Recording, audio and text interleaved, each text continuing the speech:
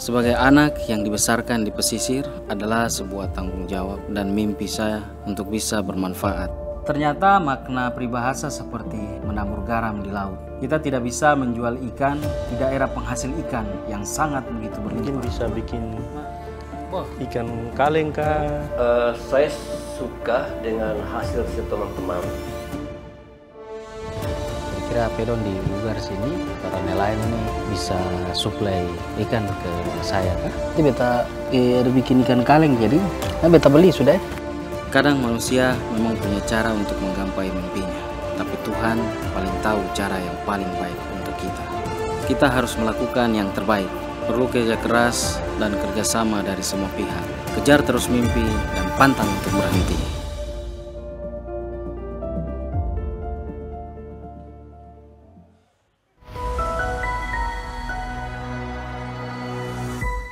Terlahir di tanah Papua itu memang tidak mudah. Harus punya semangat dan tekad yang kuat untuk bisa meraih mimpi. Bahkan saya dulu nekat ke Jogja dengan tidak berbekal uang yang cukup, tapi saya tidak ragu dan saya tidak menyerah. Saya berusaha untuk mendapatkan beasiswa supaya bisa belajar ke jenjang yang lebih tinggi lagi, bahkan hingga ke China dan ke Amerika bukanlah hal yang mudah. Tapi kini saya kembali untuk bisa berkontribusi untuk tanah Papua tercinta. Satu hal yang saya punya, yaitu saya punya misi besar adalah membangun semangat anak-anak Papua lewat gerakan Papua Muda Inspirasi. Karena saya yakin semangat itu bisa membuat teman-teman Papua bisa berbisnis dan berperan serta untuk mempercepat penyebaran perekonomian di Papua. Sekarang kau tidak perlu ragu lagi. Untuk capai kok pemimpi. Saya Mia. Saya Neil, Saya Elmus, Torang semua Papua kita orang semua bisa. Halo,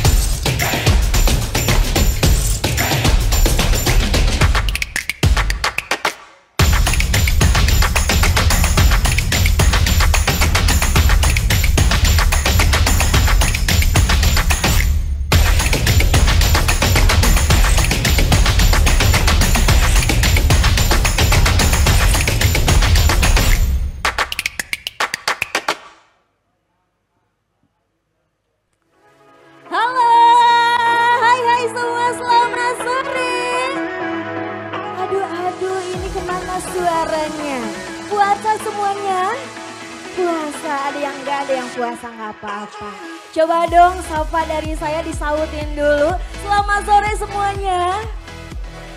belum kompak. Selamat sore semuanya. Gimana kabarnya hari ini? Alhamdulillah baik, luar biasa ya. Oke, kalau misalkan saya sapa hai hai halo nanti halo halo hai gitu ya. Halo halo hai. Harus kompak dong. Hai. Halo. Hai hai halo. Oke, kalau misalkan aku mau ngetes konsentrasi semua yang ada di sini biar kumpul dulu di sini sebelum kita langsung fokus ke forumnya. Kalau misalkan saya menyebutkan ataupun menyapa selamat pagi, nanti tepuk tangannya sekali. Bisa ya digerakin biar biar lebih rileks dan juga tentunya itu-itu senam sedikit ya. Selamat pagi. Coba dong, selamat pagi. Selamat pagi. Misalkan selamat siang dua kali. Selamat siang. Selamat siang. Selamat pagi. Selamat siang. Kalau saya bilang selamat sore nanti tiga kali ya. Selamat siang. Selamat sore. Selamat sore. Kalau saya bilang selamat malam jangan dikenain ya. Ayo harus fokus. Bapak Ibu juga boleh ikutan. Selamat malam. Ayo Siapa yang gak fokus? Harus fokus, semuanya harus ada di sini, jiwa, raga, pikiran dan hatinya harus di sini ya. Selamat pagi, selamat pagi, selamat sore, selamat sore, selamat malam. Ayo, siapa yang masih memikirkan kekasihnya di sana? Enggak ya. Oke, sekali lagi ya, selamat malam, selamat malam, selamat sore, selamat malam, Ayo siapa itu? Harus fokus ya meskipun kita lagi berpuasa yang enggak mah enggak apa-apa yang harus tetap semangat ya. Aku mau minta semuanya kalau misalkan di sini aku bilang anak muda suaranya mana? Jawabannya ini dia gitu ya. Jawabannya ini dia, tangannya harus kayak gini ya. Anak muda suaranya mana? Ayo suaranya harus dikompakin, harus dikencengin, harus lebih berpower lagi. Anak muda suaranya mana? Anak muda suaranya mana? Mantap, boleh kasih tepuk tangan terlebih dahulu dong untuk kita semua. Wow, izin Aku akan memulai acara kita pada sore hari ini karena saya melihat semua yang hadir pada sore hari ini sudah tidak sabar untuk memulai forum kita yang sangat luar biasa pada sore hari ini. Assalamualaikum warahmatullahi wabarakatuh. Salam sejahtera bagi kita semua, Om Swastiastu, Namo Buddhaya, Salam Kebajikan. Yang terhormat, selamat datang kepada Bapak Usman Kansong selaku Direktur Jenderal Informasi dan Komunikasi Publik Kementerian Komunikasi dan Informatika Republik Indonesia. Yang kami hormati Bapak Maroli J. Indarto selaku PLT Direktur Informasi dan juga Komunikasi Politik Hukum dan Keamanan Direktorat Jenderal Informasi dan Komunikasi Publik Kementerian Komunikasi dan Informatika Republik Indonesia.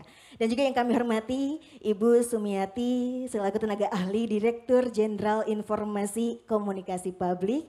Dan tentunya yang kami hormati dan sangat kita cintai Bapak Dadang Rahmat Hidayat selaku Dekan Fakultas Ilmu Komunikasi Universitas Pajajaran. Luar biasa Bapak, selamat datang dan juga tentunya Pak Dadang ini salah satu narasumber kita pada sore hari ini. Dan selain Pak Dadang tentunya ada Kak Ijal dari Papua tentunya selaku influencer yang sudah hadir. Selamat datang dan juga selamat sore dan juga yang kami banggakan seluruh peserta forum literasi demokrasi yang sudah hadir tentunya dari siang tentunya udah hadir luar biasa semangatnya mengikuti forum kita yang sangat luar biasa pada hari ini. Tentunya para peserta yang hadir secara langsung ataupun yang secara online kami mengucapkan selamat sore dan juga selamat datang. Baik, Alhamdulillah kami ucapkan sekali lagi terima kasih kepada seluruh peserta yang sudah hadir. Terima kasih pada hari ini tentunya telah hadir di forum literasi demokrasi dengan tema kolaborasi anak muda untuk kesejahteraan Papua. Boleh kasih tepuk tangan paling meriah terlebih dahulu? Luar biasa, ini adalah anak-anak muda yang tentunya semangatnya gak pernah padam tentunya ya. Terus membara dan tentunya terus ingin memberikan hal-hal yang sangat luar biasa untuk negeri kita tercinta tentunya ya. Baik untuk teman-teman sebelum kita memulai acara yang sungguh luar biasa tentunya pada sore hari ini, izinkan saya memperkenalkan terlebih dahulu ya diri saya karena ada pepatah yang mengatakan bahwasanya tak kenal maka tak sayang. Jadi izinkan saya memperkenalkan diri, perkenalkan nama saya Hani Apriani di mana sore hari ini saya dipercaya untuk memandu acara yang sangat luar biasa, suatu kebahagiaan dan juga kebanggaan untuk saya pribadi untuk bisa membawakan acara yang luar biasa pada sore hari ini. Dan tentunya hari ini kita semua akan berdiskusi dan juga akan mendapatkan ilmu-ilmu dari pembicara pembicara yang sangat berkompeten, narasumber yang luar biasa pada hari ini di bidangnya dan tentunya teman-teman semua silahkan untuk mempersiapkan dirinya ya, mempersiapkan diri untuk mendengarkan yang mau bertanya ataupun yang ingin menanyakan berdiskusi dan yang lainnya silahkan untuk aktif selama forum berlangsung. Baik Bapak dan Ibu, Alhamdulillah untuk acara selanjutnya agar acara kita pada sore hari ini mendapatkan keberkahan dan juga ridho dari Allah Subhanahu wa taala. Allah Tuhan yang Maha Kuasa tentunya dan tentunya demi berlangsungnya acara forum sore hari ini berjalan dengan lancar, kita akan berdoa terlebih dahulu, berdoa menurut keyakinan dan juga kepercayaan masing-masing. Untuk itu berdoa dimulai.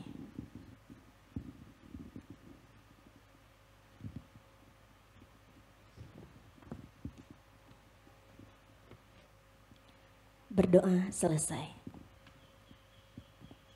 Alhamdulillahirrahmanirrahim, Bapak dan Ibu, kakak-kakak semua, karena saya melihat di sini yang hadir kebanyakan anak-anak muda tentunya ya, yang meskipun yang udah berusia berusia udah lanjut, tapi kelihatannya masih muda gitu ya, karena luar biasa semangatnya muda terus gitu ya. Dan sebelum kita melanjutkan ke acara selanjutnya, kita akan terlebih dahulu mengawali bersama-sama dengan menyanyikan secara hikmat kebangsaan Indonesia Raya terlebih dahulu. Mohon izin kepada seluruh peserta yang hadir pada hari ini untuk berdiri terlebih dahulu.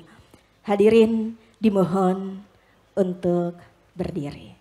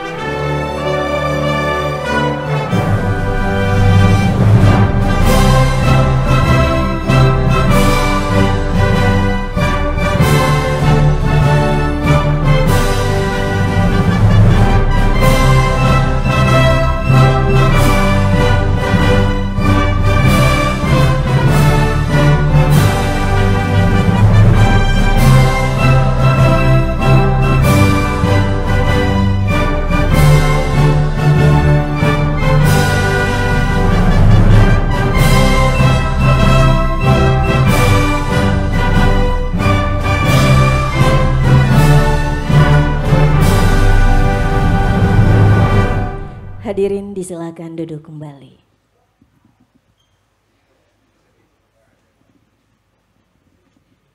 Baik Bapak dan Ibu, untuk acara selanjutnya kita akan terlebih dahulu mendengarkan sambutan.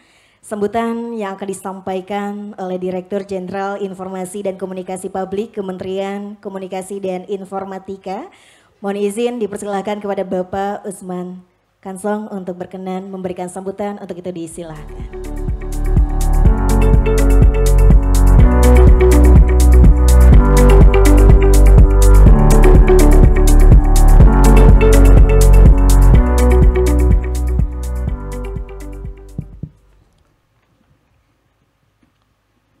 terhormat Dekan Fikom Universitas Pajajaran Dr. Dadang Rahmat Hidayat SH Esos MSI.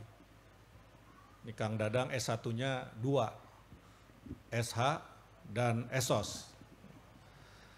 Yang terhormat komika dan influencer Muhammad Rizal Akbar Yeli Pele alias Ijal Papua.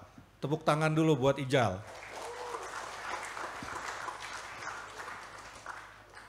rekan-rekan peserta kegiatan Forum Literasi Demokrasi 2024 yang berbahagia, Ibu Sumiati, tenaga ahli uh, Ditjen IKP Kominfo, PLT uh, Direktur Informasi dan Komunikasi Publik, Politik, Hukum, dan Keamanan. Selamat sore, Shalom, Assalamualaikum warahmatullahi wabarakatuh. Om Swastiastu, Namo Buddhaya, salam kebajikan, salam sehat buat kita semua. Sampurasun. Kumaha, Damang? Ya, bahasa Sunda itu saja saya yang bisa. Sama pisan ya. Eh, teman-teman sekalian, eh, saya berasal dari Nusa Tenggara Timur. Ayah saya orang Nusa Tenggara Timur, orang Flores Timur. Flores Timur itu eh, kalau Labuan Bajo itu Flores Barat yang terkenal. Jadi saya itu berasal dari satu pulau kecil di ujung Pulau Flores, namanya Pulau Lamakera. Pulau itu terkenal dengan tradisi berburu ikan paus jadi katanya ayah saya dulu pemburu ikan paus. Dulu waktu masih muda. Kemudian eh, saya sendiri sayangnya lahirnya di Jakarta. Entah sayangnya, entah untungnya itu. Jadi kalau di KTP Jakarta begitu kan. Jadi kita sama-sama berkulit hitam dan berambut keriting. Rambut saya ini agak keriting sebetulnya. Cuma kulit saya putih karena ibu saya dari Jawa. Ibu saya uh, putih. Tapi kalau bapak saya itu ya berkulit hitam, berambut keriting. Uh, abang saya juga yang nomor tiga itu uh, ikut bapak saya. Kalau saya ikut ibu saya kelihatannya begitu. Jadi bagi-bagi. Bagi-bagi ada yang ikut bapak, ada yang keriting, berambut keriting dan uh, berkulit hitam. Tapi kalau eh, kunjungan ke kampung halaman saya itu kayaknya saya lebih banyak ke Papua daripada ke Flores. Ya Papua saya kira berpuluh-puluh kali saya mengunjungi Papua baik sebagai wartawan. Jadi saya dulu ini wartawan. Saya jadi wartawan yang terjebak menjadi dirjen. Ya, menjadi birokrat jadi wartawan saya banyak sekali meliput Papua, kemudian sebagai dirjen banyak kunjungan kerja ke Papua, antara lain PON, antara lain PON Papua, kemudian pernah juga ikut meresmikan uh, eh, BTS dengan Pak Menkominfo. Ya Papua kesan saya adalah wilayah yang sangat eksotik, menarik, banyak kearifan lokal, kulinernya juga. Tapi saya baru tahu itu ada apa tadi sagu sagu ya. Biasanya sih kalau ke sana makanan favoritnya itu apa eh, talas ya apa sukun. Sukunnya ini beda sekali dengan yang ada di daerah lain. Sama itu makan di restoran yang di tepi eh, Danau Sentani itu ada ikan mujairnya yang enak sekali saya kira sangat uh, alami. Ya, saya kira uh, saya bertemu banyak dengan teman-teman uh, pemuda Papua dan memang uh, pemuda itu istilahnya ya detak jantung bangsa kita ini terletak pada pemuda. Ya, mereka ini arsitek hari esok, para pemimpin atau calon pemimpin yang berani membayangkan masa depan yang lebih cerah. Coba bayangkan teman-teman kalau tidak ada Sumpah Pemuda 1928 yang salah satunya kita ambil saja salah satu berbahasa satu bahasa Indonesia.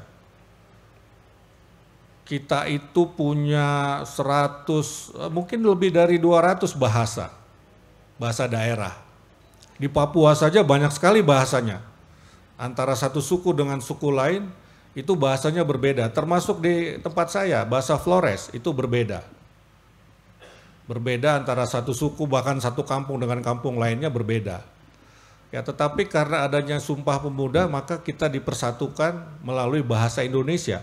Banyak loh negara sekarang yang eh, kesulitan dalam berbahasa, berkomunikasi. Ya, contohnya India. India itu juga banyak sekali bahasanya, ada yang Telugu, ada bahasa macam-macam lah. Ya. Eh, eh, ada negara namanya Belgia. Belgia itu uh, kalau di sebelah kirinya kira-kira gitu sebelah baratnya itu Prancis, sebelah timurnya Belanda, atasnya Jerman. Negara itu penduduknya ada yang berbahasa Prancis, ada yang berbahasa uh, Jerman, ada yang berbahasa Belanda. Ya, mereka tidak punya bahasa sendiri, bahasa pemersatu. Kemudian ada negara namanya Kazakhstan. Kazakhstan ini beratus-ratus tahun dijajah oleh SAR, SAR uh, Rusia, ya Uni Soviet begitu, dan dia itu punya juga banyak bahasa. Nah sekarang biasanya bahasa dominannya memang bahasa Rusia, tapi Kazakhstan merdeka tuh tahun 1991. Dia sekarang sedang bikin sumpah pemudanya lah kira-kira gitu. Ingin mempersatukan negaranya dengan bahasa Kazakhstan. Ya, bahasa Kazakhstan. Nah, ini saya kira uh, kita patut bersyukur dan kita punya bahasa pemersatu Indonesia karena para pemuda. Ya, bukan karena orang-orang tua. Apalagi orang-orang uzur begitu. Jadi pemuda sekali lagi adalah detak jantung bangsa kita dan para calon pemimpin yang berani membayangkan masa depan yang lebih cerah tentu saja. Terkait dengan pemuda di Jayapura, ada namanya Papua Youth Creative Hub yang menjadi bukti betapa potensi uh, pemuda ini bisa kita tumbuhkan. Yang penting mereka ini diberikan fasilitas, ya diberikan sarana untuk berkembang. Potensi sudah ada, tapi kalau tidak diberikan keleluasaan, tentu tidak akan keluar potensi itu. Di Papua Youth Creative Club itu, pikiran-pikiran anak muda bertemu, diberdayakan oleh gairah, dan dipandu oleh misi dan visi Indonesia yang lebih maju, Indonesia 2045. Presiden Joko Widodo pernah berkata, saya tidak ingin pemuda kita hanya bercita-cita menjadi pegawai negeri. Saya ingin mereka mengejar passion mereka baik dalam bidang fashion, hiburan, musik, fotografi, ataupun teknologi. Teman-teman sekalian, anak saya kuliah di Bandung sini, di Unpad. Ya di Unpad sudah tamat satu atau dua tahun yang lalu dan dia sekarang membuka kafe, warung kopi di dekat sini, ada di Dago dan ada di uh, sekitar di Pati Ukur. Jadi dia bersama teman-temannya patungan, kemudian membuka kafe. Dan dia sekarang sedang merintis usaha konveksi bersama teman-temannya juga. Saya capek itu mengirim dia WA lowongan pekerjaan. Apalagi CPNS, nggak mau dia. Dia memang nggak mau menjadi pegawai ataupun menjadi eh, pegawai negeri sipil, apalagi begitu. ini bagus saya kira, ya perkembangan seperti ini. Kenapa? Ya karena Indonesia masih membutuhkan entrepreneur yang besar. Entrepreneur kita ini jumlahnya masih di bawah 0,1 persen, eh, di bawah satu persen maaf. Idealnya itu ya 2 sampai 3 persen satu negara kalau mau maju jumlah pengusahanya. Jumlah UMKM-nya pasti akan lebih banyak. Austria itu adalah negara yang digerakkan oleh UMKM pada dasarnya. Dan ini juga penting menumbuhkan jiwa entrepreneur karena tahun 2030 Indonesia ini menghadapi yang disebut bonus demografi. Bonus demografi itu adalah situasi ketika jumlah penduduk produktif jauh lebih besar dibandingkan penduduk tidak produktif, artinya penduduk tua dan anak-anak. Nah, penduduk usia produktif ini membutuhkan lapangan pekerjaan. Ya, membutuhkan lapangan pekerjaan. Bayangkan teman-teman kalau semua usia produktif ini mencari pekerjaan. Sementara jumlah pekerjaan yang tersedia terbatas. Ya, karena itu pemerintah ini kan sedang aktif menjaring investasi masuk ke negara kita karena investasi itu akan menciptakan lapangan pekerjaan dan lapangan pekerjaan akan menyerap tenaga kerja usia produktif tadi itu. Kemudian akan sangat terbantu kalau kita menjadi entrepreneur, artinya kita menjadi job creator, menjadi pencipta lapangan kerja bukan menjadi job seeker atau pencari pekerjaan. Itu anak saya bisa meng-hire satu kafenya 10 tenaga kerja. Lumayan mengurangi beban uh, pemerintah ya, 10, kafe satunya 10 di konveksinya, oh banyak kalau konveksi karena tukang jahitnya itu banyak. Tukang jahitnya banyak dan si, uh, sifatnya itu kan uh, keluar masuk ya kalau tukang jahit. Tapi kalau di kafenya itu uh, dia bisa bisa meng-hire, bisa merekrut uh, tenaga kerja mengurangi uh, jumlah pengangguran. Kalau ada jutaan anak muda yang seperti itu, berapa banyak tenaga kerja yang bisa terserap? Nah, jadi penting saya kira mulai hari ini menanamkan diri kita untuk jangan-jangan memang passion saya adalah menjadi pengusaha, begitu. Dan nah ini ini apanya nih? Uh, saya nggak tahu bagusnya atau baiknya atau jeleknya nih kalau orang sudah ke tanah parahyangan itu katanya nggak mau balik lagi kang. Itu repotnya itu. Anak saya itu nggak mau balik lagi. Untungnya kalau saya kan tinggal di Depok sama-sama penduduk Jawa Barat itu nggak nggak apa-apa ya e, kita tentu berharap teman-teman setelah menimba ilmu di Bandung ya kemudian ya tentu bebas boleh. Orang orang Indonesia boleh bermukim di mana saja. Bahkan ke luar negeri juga boleh begitu kan? Nah tetapi ada baiknya setelah mendapatkan ilmu kembali ke Papua kemudian membangun uh, Papua dengan keterampilan dan ilmu yang kita dapatkan. Antara lain adalah dengan menjadi entrepreneur. Tadi yang dicontohkan di video-video itu kan entrepreneur semua itu. Entrepreneur semua. Ya.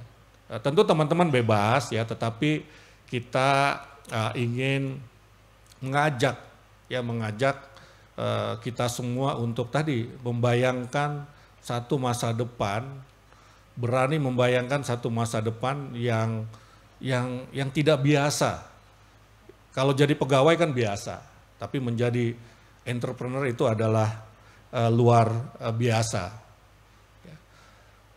Saya juga menyampaikan ini kepada teman-teman yang sedang mengambil S2, S3 di luar negeri. Ayo setelah pintar kembalilah ke Indonesia. Ya, atau sebaliknya kita ini kadang-kadang kalau pintar malah keluar begitu kan. Kalau pintar malah keluar kayak saya waktu di Metro TV banyak teman yang yang yang S2, S3 ke luar negeri sudah pulang, sudah balik sebentar kerja satu tahun balik di Metro TV habis itu keluar dia pindah mencari pekerjaan yang lebih baik. Ya. Nah, saya pikir tidak baik yang seperti itu.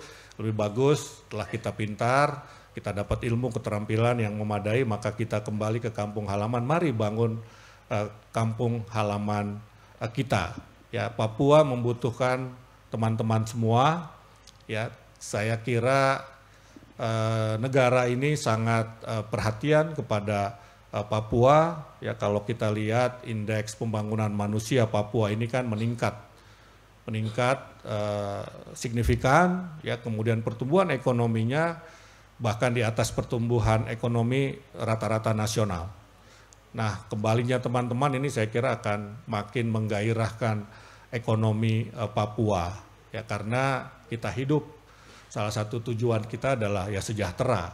Negara tujuan adanya negara adalah untuk mensejahterakan masyarakatnya.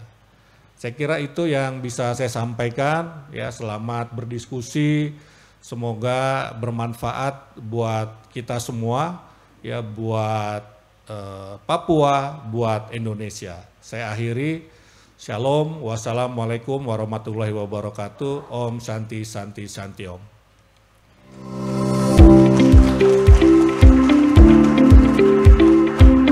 Terima kasih kepada Bapak Usman Kansa atas sambutannya untuk kita semua. Wih. Gimana? Halo? Aduh, aduh, aduh, jangan diam-diam aja. Di sini aku mau ngasih informasi buat teman-teman, buat kakak-kakak yang cantik-cantik dan ganteng-ganteng yang sudah hadir pada sore hari ini saya mau informasi bahwasanya kita pada sore hari ini selain berdiskusi, kita juga mau bagi-bagi hadiah. Wow. Di sini siapa yang mau hadiah? Ada yang mau hadiah? Cuman dua orang aja. Kalau cuma dua orang aja buat MC-nya aja. Ayo, siapa yang mau hadiah? Siapa yang mau hadiah?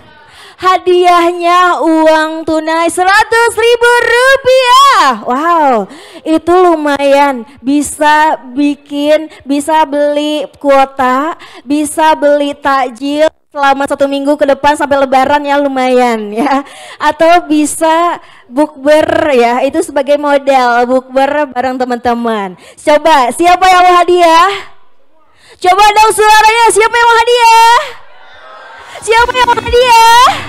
Oke, oke. Yang mau hadiah ada pertanyaannya. Siapa yang sudah follow? Saya coba dicek dulu Instagramnya ya. Dicek dulu Instagramnya siapa yang sudah follow at literasi demokrasi.id. Adio, siapa yang udah follow boleh dong diangkat tangan saya mau lihat dulu, buktiin dulu yang sudah follow mana yang udah follow. Satu, dua, tiga. Mbak E, sini kakak sayang, kakak cantik sini sayang. Aduh luar biasa ya. Sini sini sini sini. Sini sini sini. Oke, saya lihat dulu. Mbak namanya siapa? Joanna. Kakak namanya Joanna. Seperti namanya cantik sekali, Kak Joanna. Gimana kabarnya hari ini? Puji Tuhan baik. Ya Allah, puji Tuhan baik luar biasa. Baiklah kasih tepuk tangan dulu untuk Azana. Dicek dulu saya. Wih, lihat dulu ke kamera dong, liatin ke kamera betul ya, betul ya, betul, betul. Oke, sudah, Kak Jana sudah follow literasi demokrasi.id. Yang lainnya harus follow juga tentunya ya. Oke, kakak sayang, kamu dapat hadiah dari kita semua untuk kamu biar lebih semangat lagi mengikuti forum sore hari ini. Cakep ya? Seneng gak? Mana? Senang, senang mau mana langsung ditagi. Panitia nanti akan menghampiri kakak sayang ya. Kakak sayang terima kasih banyak. Kamu harus aktif. Kalau kamu nggak aktif nanti saya tandain. Oke, okay? tos dulu dong. Thank you kakak. Boleh kasih tepuk tangan untuk Kak Zona. Oke, semuanya kami informasikan boleh di follow ya. Silakan di follow literasi demokrasi.id karena di sana banyak banget eh, informasi-informasi yang sangat up to date banget, yang update terus setiap harinya, perkembangan demokrasi di setiap harinya tentunya ya. Dan tentunya yang selanjutnya, siapa yang sudah bikin story kegiatan pada sore hari ini? Ayo, siapa yang sudah bikin story hari ini, kegiatan hari ini, forum kita hari ini, siapa yang sudah bikin story? Ada? Jangan tiba-tiba story WhatsApp ya. Coba-coba lihat dulu sini. Oh, abang, abang, abang, kakak sini kakak, kakak. Kakak ganteng ini, ganteng sekali ini, luar biasa. Kasih tepuk tangan dulu dong. Kakak, coba. Sini dulu, yang di belakangin kameranya, sini dulu ya. Aduh, sini, sini, deketan, deketan, deketan. Namanya siapa? Gofar. Gofar. Gak kedengeran siapa? Enggak, jangan ketawa-ketawa terus jangan senyum-senyum. Jadi berpaling ini ya. Senyummu mengalihkan duniaku. Enggak ya. Enggak, mohon maaf. Kakak coba dicek dulu storynya di WhatsApp katanya ya. Di IG udah follow belum? Belum, follow dulu sekarang langsung follow dulu, follow dulu. Saya ini ya, selain bikin story kegiatan hari ini biar semua teman-teman kakak-kakak yang ada di sini mengetahui bahwasanya hari ini ada forum yang luar biasa yang sedang kita laksanakan. Literasi, Semuanya yang belum follow Instagram literasi-demokrasi.id wajib follow. Sekarang juga karena di akhir acara kita akan mengecek ya. Di Instagram semuanya akan kita cek follow. Oke luar biasa. Nanti hadiahnya dari panitia. Oke kakak jangan, jangan nunduk dong. Senyum lagi, senyum lagi. Aduh luar biasa senyumannya manis sekali. Kakak thank you banget.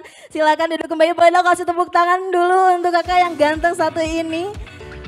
Panitia luar biasa ini. Ada satu lagi. Oke kita lanjut lagi. Satu lagi ya karena semuanya udah tidak sabar. Ayolah forum langsung. MC kebanyakan anak ini anak ini katanya pengen langsung berdiskusi. Sabar.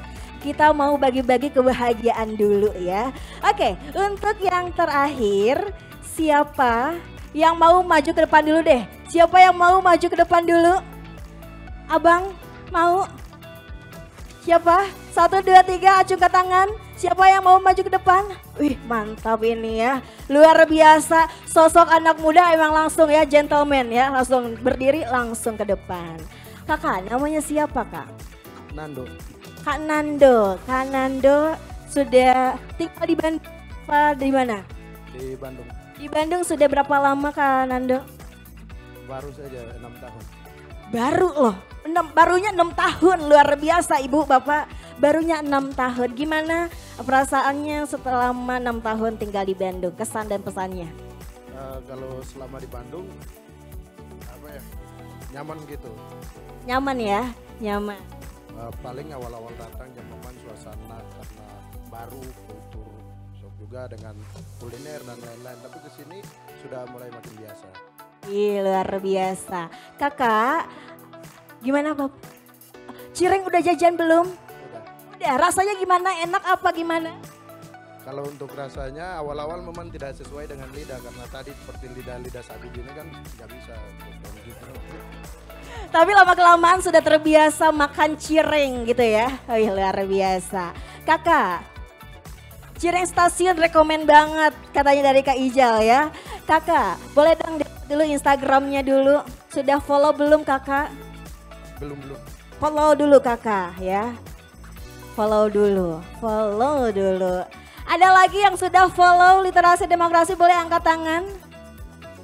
Kakak, kakak cantik. Ya, sedang kacamata yang kakak cantik di sana. Boleh dong maju ke depan. Literasi demokrasi.id follow semuanya yang lagi nonton online pun wajib banget kalian follow Instagram literasi demokrasi.id. Halo kakak, cantik sekali. Namanya siapa? Nila. Nila. Dila. Oh villa. Oh, kakak punya villa di mana? Oh, bukan ya, bukan ya. Maaf, maaf. Kira ini punya kawasan villa di Bandung gitu bukan ya? Kak Villa, dia follow, sudah follow. Boleh dong Kak Villa, kan Anda sudah ya?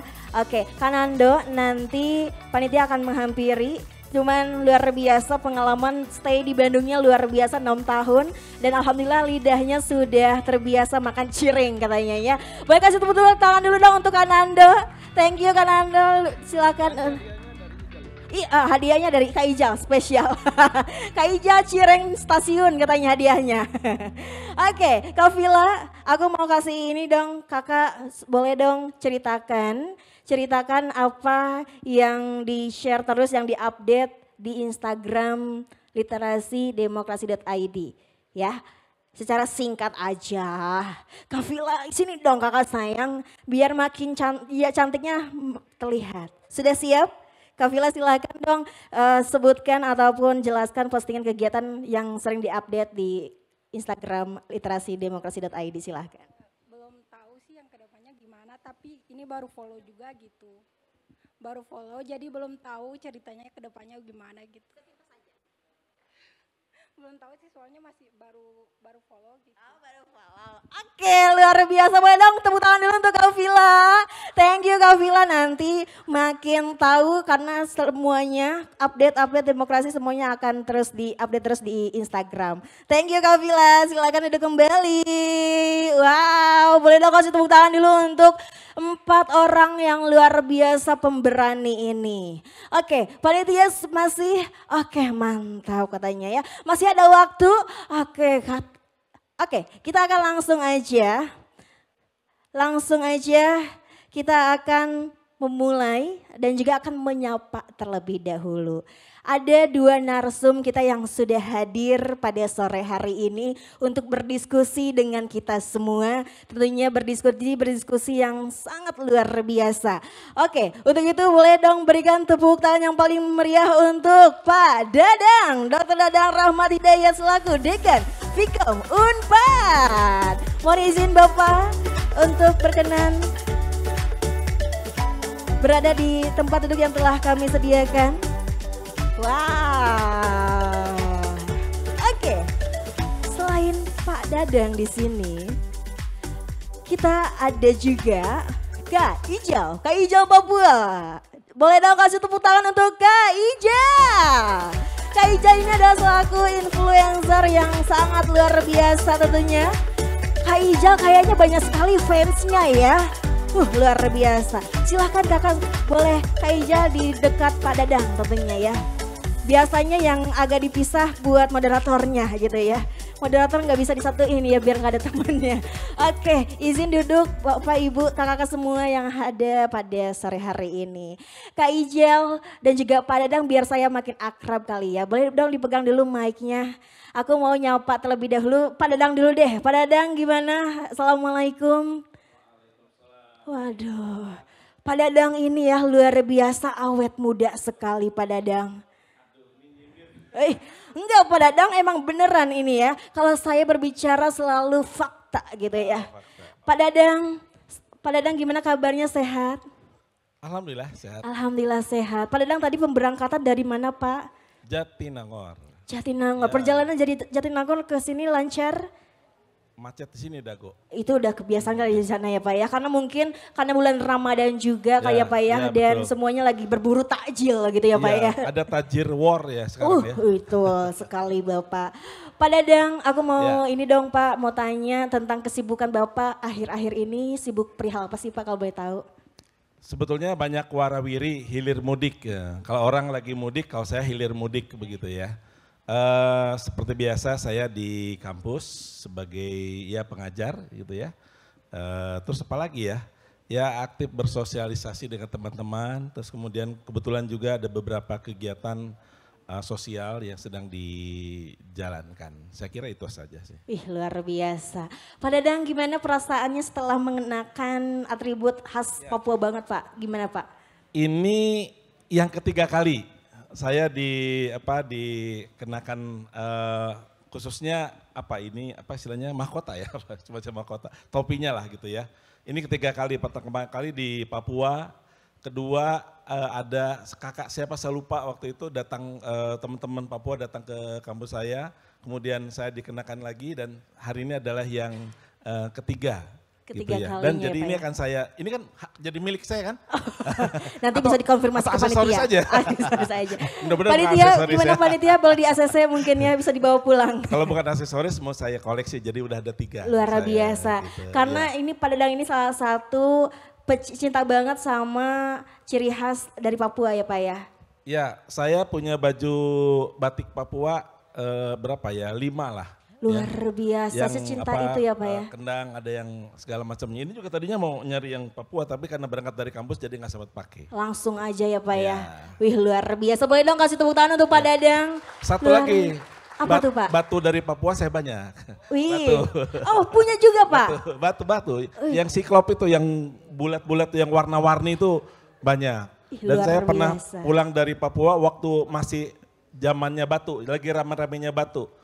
Eh, Teman-teman bawa apa? Saya bawa eh, koper saya, bajunya saya keluarin, eh, pakai tas biasa. Kemudian saya beli batu di di apa di bandara itu.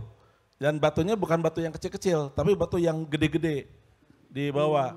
Pas di scan sama apa? Sama di bandara itu, Iya, Pak, oh ini kok bawa batu? Tapi boleh nggak? Ini nggak boleh Pak, boleh di kabin, harus bawa ke ke bagasi. Itu saya bawa kurang lebih 20 kilo. Luar biasa. Tapi bingung pas sampai di Bandung mau diapakan dan akhirnya saya taruh di akuarium batu itu. Wih, Di sini ada Pak, yang kepala batu ada Pak. Sini. Kepala batu. Iya iya iya. Oke terima kasih Pak Ya, Dadang baik. sangat luar biasa tentunya menceritakan kesibukan Pak Dadang dan juga tentu kecintaan Pak Dadang ke seberapa cinta Pak Dadang ke Papua itu luar biasa Ngobrol berdua terbukti aja, tentunya berdua. ya. Oke, Kak Ija mau ke mana? Pergi. Enggak, dari tadi kacangin jadi makanya saya- Belum loh, Oh, Kak belum. Ija, jangan cemburu gitu loh Kak Ija. Mulai ada yang cemburu nih. Kak Ijal, halo Kak Ijal, boleh dong ke sini dong. Iya, Aku Teh. pengen dilihat sama Kak. Bukan Karena banyak lagi. banget fansnya loh. Kenapa Kak Ijal? Bukan muhrim. Oh bukan muhrim, oh, mohon izin. Masih ada wudhu ya? Oh, Oke nggak apa-apa Kak Ijal. Kak Ijal gimana kabarnya? Alhamdulillah sangat baik. Alhamdulillah sangat baik. Kak Ijal stay di Bandung apa gimana Kak Ijal? Stay di Bandung. Sudah berapa lama Kak Ijal? eh dari 2012 di sini. 2012 hingga sekarang ya Kak Ijal. Luar biasa. Itu kebetahan atau gimana Kak Ijal? Lebih ke nyari jodoh aja nggak ketemu ketemu. Nyari jodoh. Siapa tahu pulang forum hari ini Kak Ijal dapat Nggak, jodoh. ber- bercanda kita bercanda bercanda. Oh, bercanda nggak apa-apa. Siapa tahu diaminkan dikabulkan ya. Kak Amin. Ijal, aku Ya. mau tanya dong untuk kegiatan Kak Ijal akhir-akhir ini sibuk perihal apa sih Kak Ijal? eh mm, pertama kuliah, masih kuliah, terus lagi ada program di Trans 7, terus sama lagi ngegarap apa namanya eh, YouTube juga sama teman-teman dari Papua di sini juga. Kita ada program namanya di YouTube-nya kita. Ada program YouTube-nya kita namanya namanya apa? Oh Ayo, iya, ini. As- Asrama Paci Sunda. Wih. Jadi uh, kontennya sudah naik satu, kemarin kita baru garap dua video lagi bakal naik minggu depan. Uh, biasanya kita tayangin di Asanesia TV. Wih, keren nah, tayangnya sekali. kita syutingnya tiap Sabtu. Mungkin teman-teman dari Papua yang mau ikutan uh, jadi talent atau ikut jadi tim kreatif, kok jadi promo ya? Eh, Gak apa-apa, siapa tahu Bisa- makin bisa, bisa ikut semangat. gabung, ya bisa ikut gabung Mm-mm, nanti ikut ya. gabung benar, Hmm, biar jadi, makin akrab Ya, juga. kesibukan sekarang itu aja nge- ngegarap uh, apa YouTube sama teman-teman di sini, terus stand up, uh, kuliah sama ada program lagi, lagi ada program aja. ya. Wih, luar biasa. Stand up. Iya. Stand up komedi. Betul. Iya. Coba dong, boleh kita spill dulu ya. Kak Ijal stand up komedi sedikit aja, satu aja. Kak Ijal. Oke, mau berdiri apa mau sambil duduk? Kok jadi beban ya? Coba, coba jadi beban. Enggak, Iya. di spill, di spill. Iya, eh, mungkin satu aja ya. Satu aja. Teman-teman di sini sering lihat tidak teman-teman orang Papua yang biasa naik motor tidak pakai helm. Kenapa tuh Kak Ijal? Ada ha pernah, ha pernah, ha pernah naik motor, ketemu di lampu merah pahlawan, ketemu dengan anak Papua baru gonceng tiga, tiga tiga tidak pakai helm. Teh kebayang nggak? Kebayang anak Papua naik motor gonceng tiga nggak pakai helm. Kalau nggak kebayang, bayangin ya saya ada tiga naik motor gitu. Pada naik motor tuh. Terus saya bilangin ke mereka, ganteng, kan kalau naik motor pakai helm biar kepala aman. Terus dengan santainya dia balas, kakak, dia buka helm, dia, dia, dia, dia ketok dia punya kepala. "Hmm, kita punya kepala keras. Oh. Dia bilang, ganteng, satu aku punya kepala keras, tapi aspal lebih keras. Ini. Kakak, kakak tahu aspal warnanya apa? Hitam. Kakak tahu kita punya muka warna apa? Hitam. Sesama hitam tidak akan saling menyakiti. Boleh dong kasih tepuk tangan untuk Kak Ijal, luar kacau. biasa. Itu cuman satu loh. Kak Ijal itu bakat apa kesenangan apa gimana Kak Ijal dari sisi komedi? Eh, kalau stand up sebenarnya bisa bisa belajar. Oh, belajar. Karena lucu itu by tulisan sebenarnya. Kalau saya pribadi saya sebenarnya nggak lucu. Serius. Kayak tadi turun eh, itu udah gimmick tuh. Cuman nggak ada yang ngewaro aja jadi kayak serius banget. Itu karena ketahuan nggak lucu gitu. Ah, tadi gimmick juga nggak ngerespon. Kalau tulisan itu stand up itu by tulisan. Teman-teman yang lucu di tongkrongan biasanya belum tentu lucu di stand up. Yang lucu di stand up belum tentu lucu di tongkrongan. Betul betul. Karena kalau komedi itu sebenarnya bisa dilatih. Dan kebanyakan teman-teman dari timur khususnya dari Papua punya basic melucu sebenarnya. Cuman kita minder aja sama nggak pede aja. Nah itu berarti di sini Kak Ijal harus meyakinkan bahwasanya teman-teman semua harus pede dengan dirinya sendiri ya Kak Ijal ya. Siap, Kak. Biar anak-anak muda di sini nggak ada yang minder-minder dan semuanya membangkitkan dan juga mengeluarkan apa yang jadi kebiasaan dan juga tentunya yang tentunya mereka udah punya uh, ilmunya mereka harus tonjolkan. Jangan sampai dipendam, jangan sampai cuman buat dirinya sendiri tapi harus benar-benar kita berikan untuk Indonesia kita ya. Boleh dong kasih tepuk tangan untuk narasumber kita hari ini. Luar biasa belum mulai diskusinya sudah agak ada kerasa-kerasa ini diskusi-diskusinya udah mulai-mulai kepancing. Oke, Pak Dadang, kayaknya Pak Dadang sudah tidak sabar untuk berdiskusi, memberikan materi-materi yang ingin disampaikan kepada teman-teman yang ada di sini. Pak Dadang sudah siap untuk memberikan materi ataupun Kalau saya siap ditanya. siap ditanya luar biasa. Mau nanya lagi ke saya? Widih. Pak Dadang mungkin boleh disapa dulu untuk teman-teman Oke. yang ada di sini yang sudah Baik, hadir. selamat siang. Assalamualaikum semuanya. Sampurasun. Waalaikumsalam Rampes.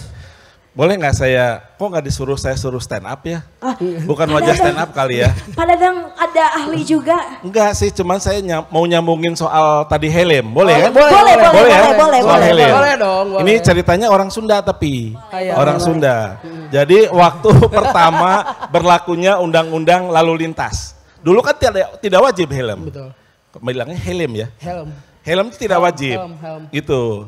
Nah, suatu saat ini sudah berlakulah undang-undang nomor 14 tahun 9 92 saya masih ingat itu ya. Itu eh, sudah berlaku wajib helm. Di suatu tempat di Jawa Barat, ini ada orang apa mau naik motor, ada yang sudah pakai helm gitu kan. Si polisi yang lihat itu, wah ini senang nih, undang-undang sudah berlaku. Tapi tiba-tiba ada yang nggak pakai helm, pasangan suami istri, pasangan suami istri. Di-stoplah oleh si eh, polisi itu. Pak, berhenti. Eh, kenapa Pak? Pak, ini kan sudah ada aturan baru.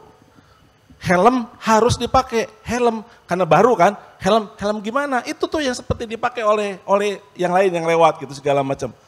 Kemudian, kenapa Pak wajib? Ya wajib undang-undang. Ya tapi Pak kenapa? Si polisinya tanya terus kan. Akhirnya bilang, helm itu untuk perlindungan dari keselamatan. Keselamatan?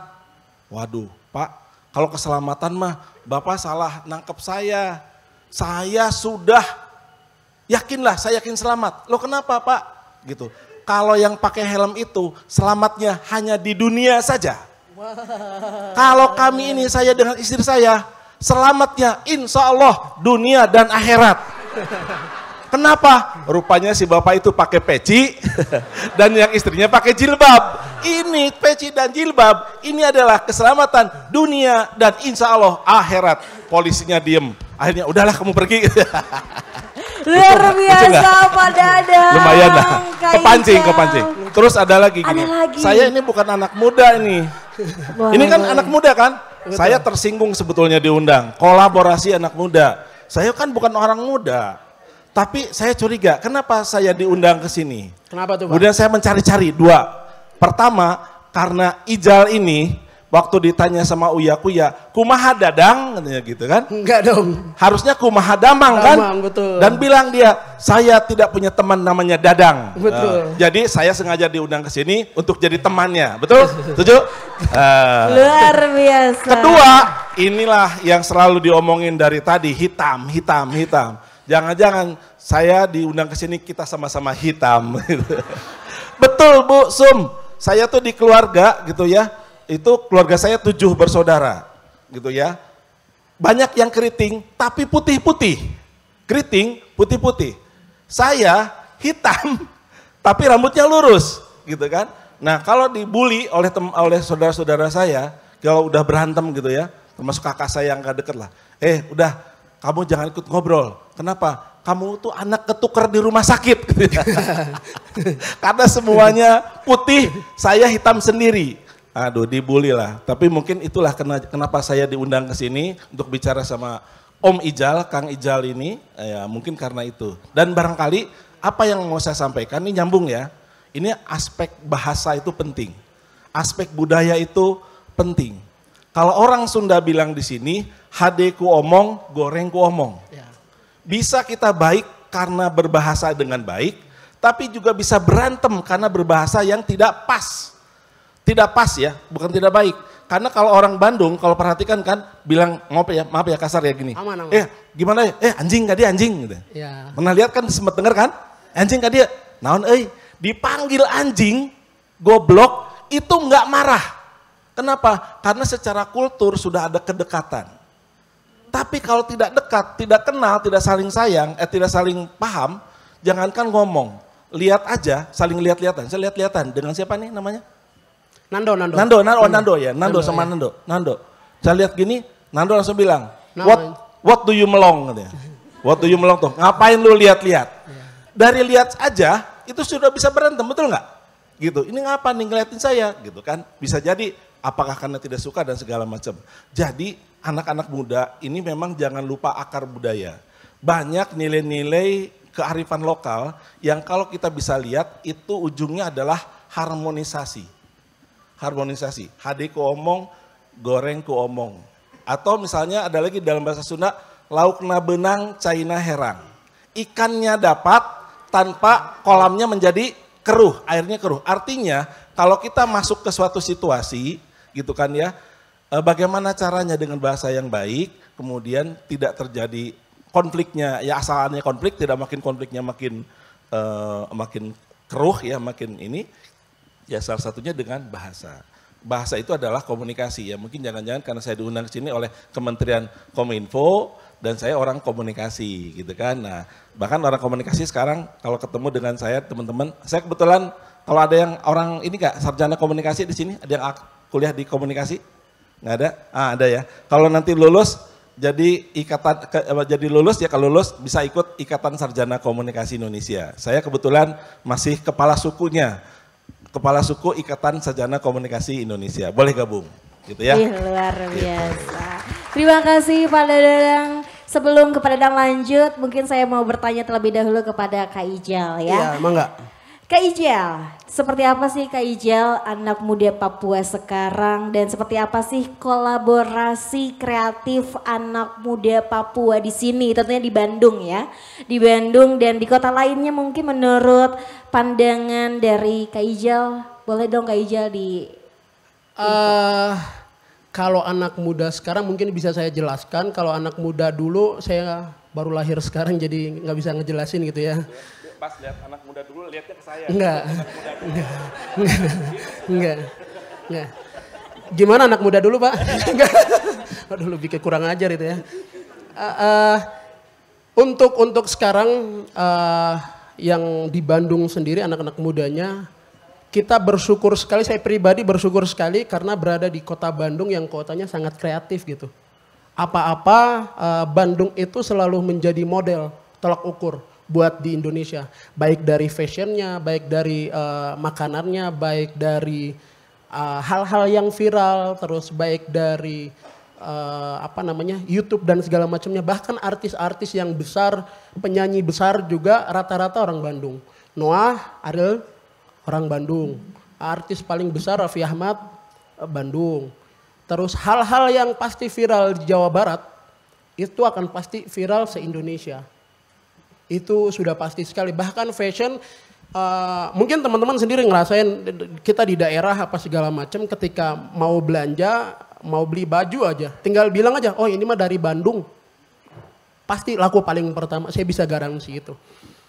Senangnya kita di sini, saya pribadi senangnya di sini adalah uh, ketika kita mau usaha, ketika kita mau berkreativitas, semua lini itu sudah terlalu kreatif gitu kalau di Bandung. Akhirnya kita sendiri yang tim-tim kreatif gitu, uh, anak-anak yang mau berkreativitas itu berpikir bagaimana caranya mencari hal spesifik yang harus bikin lebih besar, lebih ngebom, tapi harus sekreatif mungkin.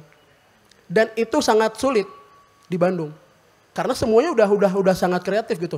Terlebih kita yang dari Papua gitu termasuk mungkin saya ambil contoh kasus uh, saya pribadi gitu ya saya pribadi uh, saya di Bandung sudah mencoba beberapa hal selama saya kuliah. Kebetulan saya kuliah sudah enam tahun setengah belum lulus masih nyusun.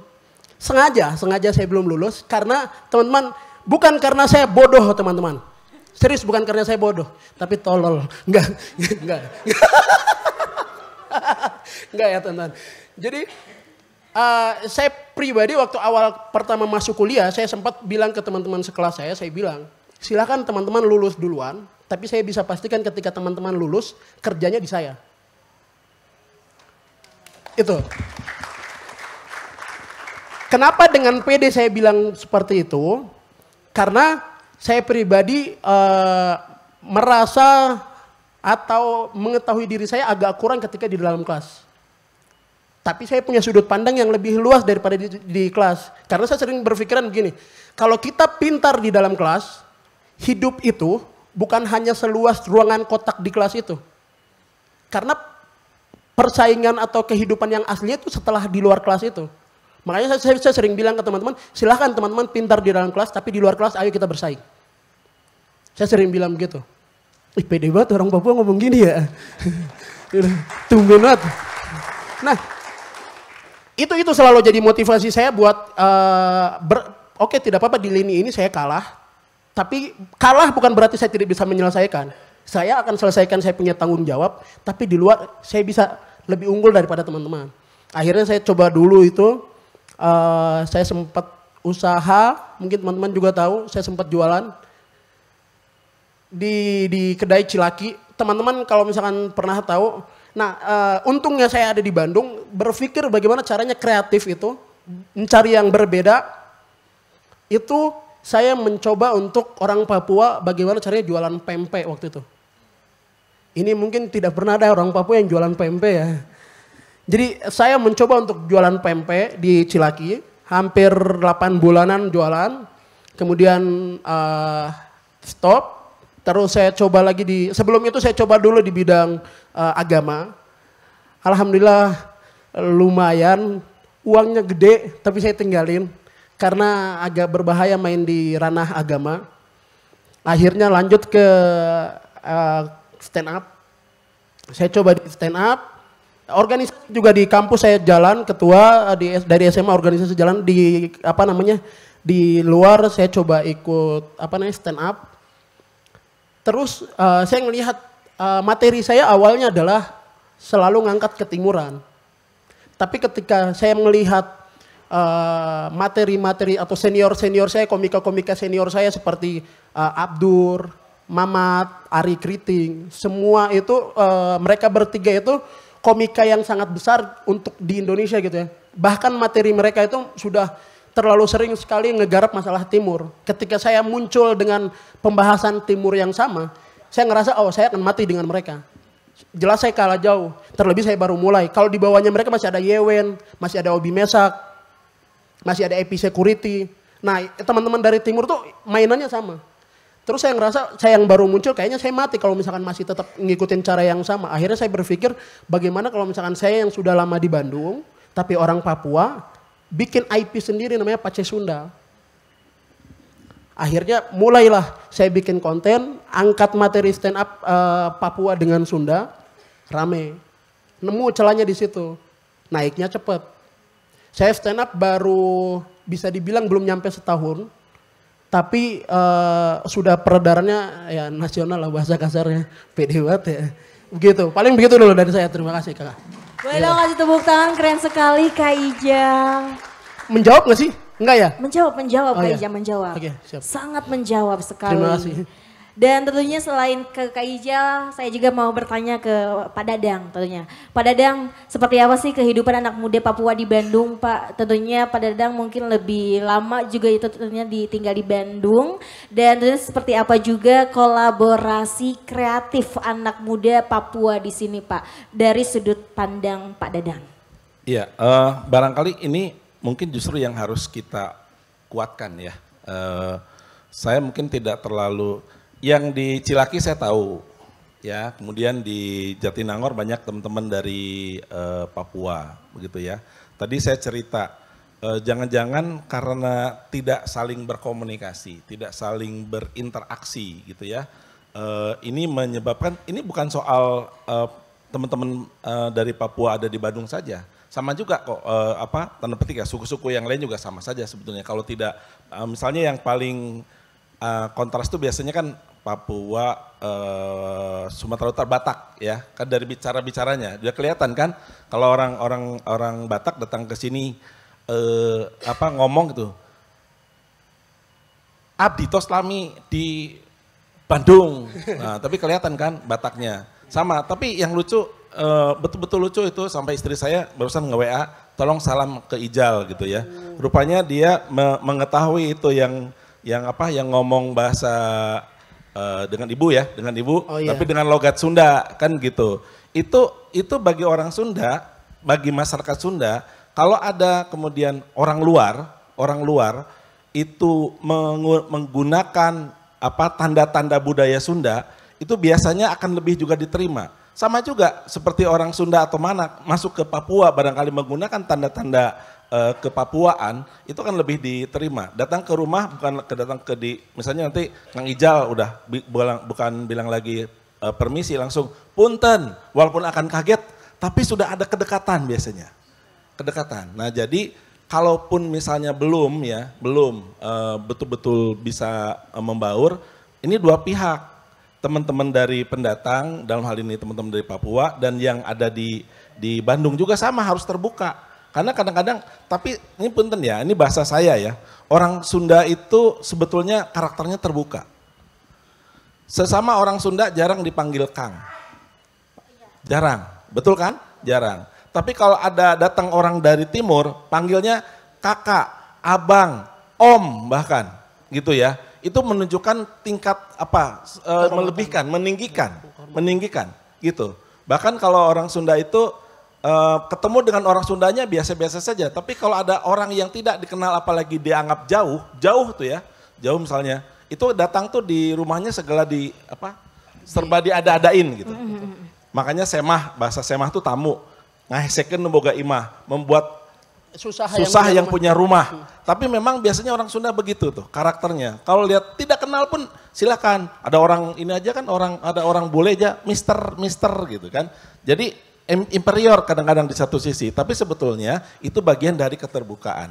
Nah, saya kira kalaupun belum optimal, mari kita eh, optimalkan. Jadi mungkin ada paguyuban apa tadi kalau eh, Ijal bikin apa tadi eh, konten eh, grup konten baru ya. Ya. Misalnya teman-teman dari Papua bisa saja tuh gabung. Misalnya ya ajaklah saya ingin Bisa. ingin ingin ingin numpang numpang numpang ini numpang apa terkenal. Siapa tahu nanti nyalon gitu. Siapa tahu. Siapa tahu gitu kan. Amin. Kalau sekarang nggak boleh saya kan pegawai negeri nggak boleh. Nah, tapi paling tidak kolaborasi seperti itu menjadi sangat eh, penting. Saya kira dan itu budaya. Kedua juga memang bagi saya pemerintah dalam hal ini juga secara political will-nya juga harus ada. Kalau di kampus, saya selalu mengatakan silahkan semua dan kebetulan ya ada juga teman-teman dari Papua tapi tidak banyak gitu di kampus. Saya kira ini menjadi sangat penting. Kalau di Jatinangor banyaknya di Kopin ya kalau nggak salah ya. Iya, iya, benar. Di Kopin. Nah, sayangnya Unpad dengan di Kopin juga tidak blended gitu ya, belum blended. Nah, mungkin ini bisa kolaborasi yang cukup penting diawali dari bertemu, berinteraksi, berbahasa yang sama. Ijal bisa jadi jembatan. Kalau saya tidak bisa jembatan, tapi kalau Ijal bisa jembatan teman-teman yang berasal dari Papua dengan yang bahasa dengan orang Sunda. Sama juga misalnya orang uh, bule, ada loh orang bule yang di Bandung ya, tapi karena juga dia biasa berbahasa Sunda. Yang orang Jerman. Nah orang Jerman, tapi begitu ini paling diomongin di belakang tadi gitu kan, eh itu bule, ada bule, ada bule. Tapi ternyata dia bisa berbahasa Sunda, Ya, lebih Sunda daripada orang, Orang Sunda. Sunda sekali. Nah begitu muncul seperti itu dalam konteks bahasa, itu merasa dekat gitu. Jadi kedekatan ini harus dibangun dengan komunikasi, terutama aspek-aspek budaya terlebih dahulu. Jangan ngomongin ekonomi dulu, jangan ngomongin politik dulu. Ngomongin itu aja dulu dari kebersamaan. Oh ternyata kita tuh punya hobi yang sama, eh, kesenangan yang sama, punya cita-cita yang sama. Tadi Pak Dirjen menyebutkan bagaimana kita berpikir masa depan menjadi lebih baik. Saya kira itu bisa dimulai dari yang hal-hal yang kecil dulu. Mulai kapan? Mulai sekarang. Dari mana? Dari diri sendiri. Saya kira itu penting. Luar biasa. Boleh dong kasih tepuk tangan untuk Pak Dadang. Selanjutnya mungkin saya mau bertanya kembali kepada Kak Ijal ya. Kak Ijal bicara soal kolaborasi kreatif dalam konteks pembangunan kesejahteraan ya Kak Ijal. Setiap warga negara Indonesia memiliki kesempatan tentunya untuk meningkatkan kesejahteraan bisa melalui pendidikan atau pekerjaan atau juga mungkin usaha berbasis ekonomi kreatif. Bagaimana pendapat Kak Ijal tentang akses terhadap kesejahteraan di Papua? Silahkan Kak Ijal. Eh, terima kasih. Eh, pertanyaannya kayaknya untuk bapak-bapak pemerintah ya. Eh, saya pribadi, saya pribadi jujur karena besar di sini mungkin sudut pandang saya dari sudut pandang saya di sini aja kali ya. Karena kalau misalkan mau ambil sudut pandang Papua, khawatir saya ngomongnya ngalor ngidul. Terkesan sok tahu nanti, saya khawatir seperti itu. Nah, mungkin eh, sorry, pertanyaannya boleh diulang. Bagaimana pendapat Kak Ijal tentang Iya. akses terhadap kesejahteraan di Papua, Kak Ijal? Eh, kesejahteraan Papua. Akses. Iya, dan juga sebenarnya setiap warga negara kan memiliki kesempatan kan Ah. Kak Ijal ya untuk meningkatkan kesejahteraan, bisa melalui pendidikan, mungkin Kak Ijal usaha, bisnis, kreatif dan juga tentunya dari pekerjaan dan yang lainnya Kak Ijal. Dari sudut pandang Kak Ijal aja. Baik, eh, saya saya, saya eh, tidak mau bicara mungkin terlalu jauh ke Papua atau ke pemerintahan apa segala macam. Paling saya mau bicara di ranah saya pribadi dulu, hu- khususnya untuk yang dekat-dekat dari saya pribadi. Eh, saya pribadi eh, mengamani, ya mengimani betul kata khairun nas anfa'uhum linnas kalau teman-teman ada yang tahu eh, artinya apa teman-teman? Boleh yang Kristen jawab? Gak apa-apa. Eh, apa artinya? Khairun nas anfa'uhum linnas? Ada yang tahu? Sorry.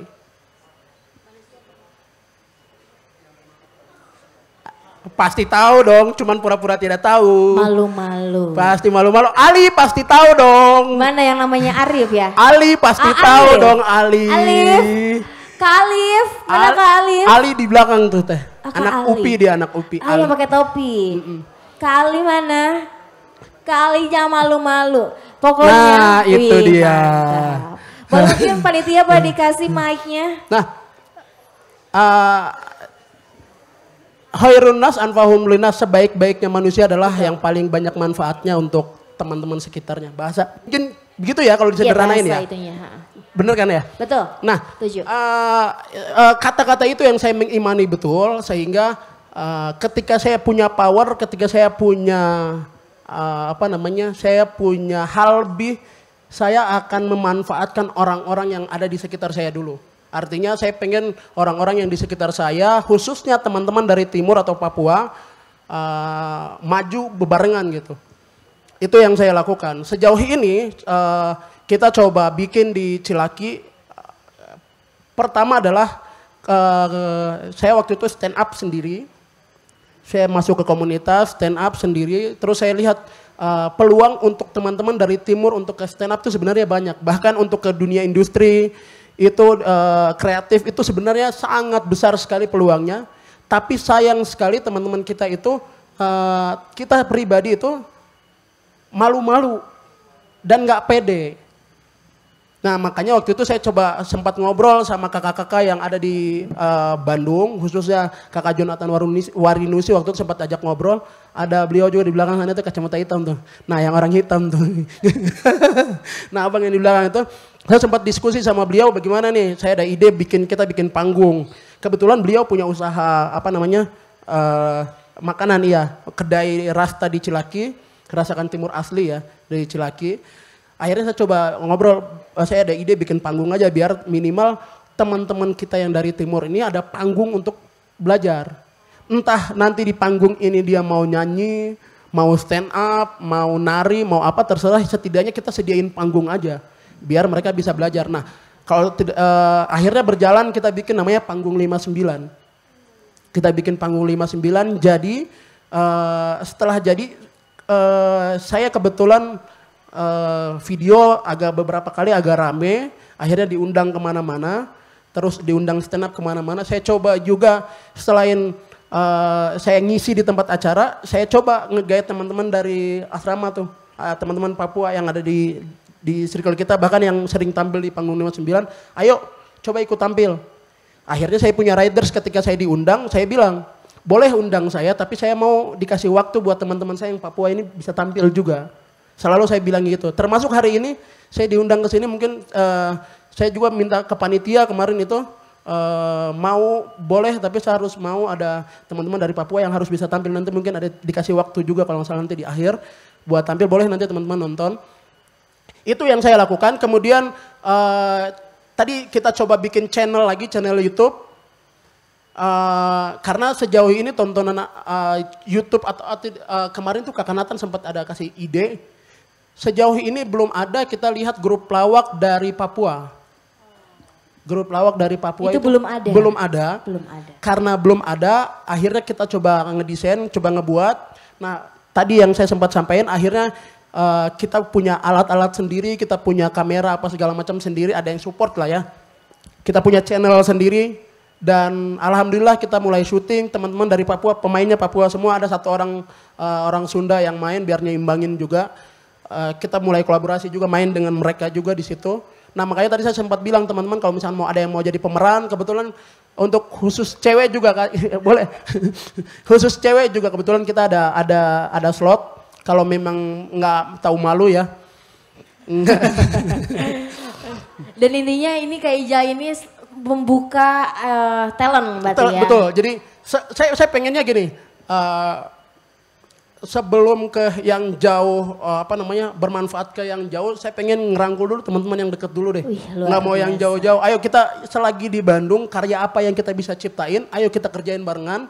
Eh, masalah nanti nanti cek orang Sunda memaneh lebih gede orang hente gitunya masih eh, pada ngerti kan orang Ngerti, bahasa ngerti, Sunda ngerti. Iya. Bagian. Masalah iya masalah nanti teman-teman lebih gede dari saya atau saya lebih gede dari teman-teman, seenggaknya saya pengennya ya udah ayo sama-sama maju gitu. Betul betul. Itu itu yang eh, yang saya, saya lakukan karena saya pengen sekali percaya sekali eh Khairunas anfaul linnas jadi ya udah ayo sama-sama Sama-sama kita ini ya, Betul, luar biasa. betul.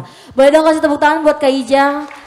Nah di sini buat teman-teman uh, kakak-kakak yang luar biasa anak muda yang hadir di forum sore hari ini yang berminat ingin bergabung bersama Kak Ija bersama timnya juga bisa langsung aja. Nanti setelah selesai forumnya bisa langsung aja sapa dan juga langsung ditowel aja cek orang Sunda mah Iya, aja Kak iya. Ijal Kak Ijal aku mau dong gitu Ta- ya, ya, tapi ada syaratnya. ada syaratnya Iya. boleh dong di spill dulu biar semuanya di sini mempersiapkan Yang cewek boleh berani telanjang di depan gitu. Enggak, enggak. Enggak, astagfirullahaladzim pasti bercanda.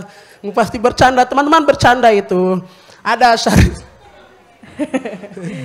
yang laki-laki siap untuk ditampol ya, enggak. Eh, enggak Eh, syaratnya paling pada saat masuk keluar kita ada persyaratan harus nyiapin berapa materi gimmick apa segala macam kita harus disiapin gitu. oh iya Ada ada beberapa minimal lima lah, dua gimmick masuk keluar terus tiga punchline. Wih. Jadi minimal Mungkin takutnya ada yang masih yang masih bingung-bingung nanti biar lebih detailnya langsung bersama Kak Ijal dan juga tim yang ikut hadir pada sore hari ini. Siap ya Kak Ijal sampai di sini sampai selesai ya. Baik. Oke, kita kembali ke Pak Dadang. Pak Dadang, aku mau tanya juga perihal demokrasi dan berpolitik ya. Pak Dadang. Berdemokrasi dan juga berpolitik menurut pengamatan Pak Dadang, sudah seperti apa perkembangan antusias anak muda aktif ikut berdemokrasi atau berpolitik? Wah ini harus buka data sebetulnya ya, tapi ada beberapa hal yang saya masih ingat. Pertama, eh, anak muda saat ini eh, berbedanya dengan anak muda zaman dulu itu kepada akses yang tadi disampaikan. Jadi sebetulnya peluang akses untuk berpolitik atau menjadi aktivisme dalam konteks politik ya, eh, demokrasi sebenarnya peluangnya jauh lebih besar untuk berpolitik ya. Nah, tinggal bagaimana uh, mempunyai orientasi dalam setiap politik kan ada orientasi kan ya. Orientasi, orientasi ini sangat juga tergantung kontekstual nih bahwa realitas politik di suatu negara akan sangat tergantung pada sistem politik apa yang dianutnya. Kalau suatu negara yang sifatnya eh, demokratis, maka partisipasi politik akan menjadi lebih terbuka. Kedua, kalau di negara yang sifatnya tertutup, otoriter, maka partisipasi politik itu akan menjadi sangat eh, tertutup, kan begitu. Itu baru bicara secara kuantitatif. Artinya kuantitatif dengan adanya akses, punya media, organisasi berpolitik menjadi lebih banyak, partai aja sekarang sudah tidak dibatasi sebetulnya kalau dia memenuhi persyaratan kan begitu. Hanya untuk menjadi partai yang berada di parlemen harus mem me memenuhi uh, parliamentary threshold kan begitu ya.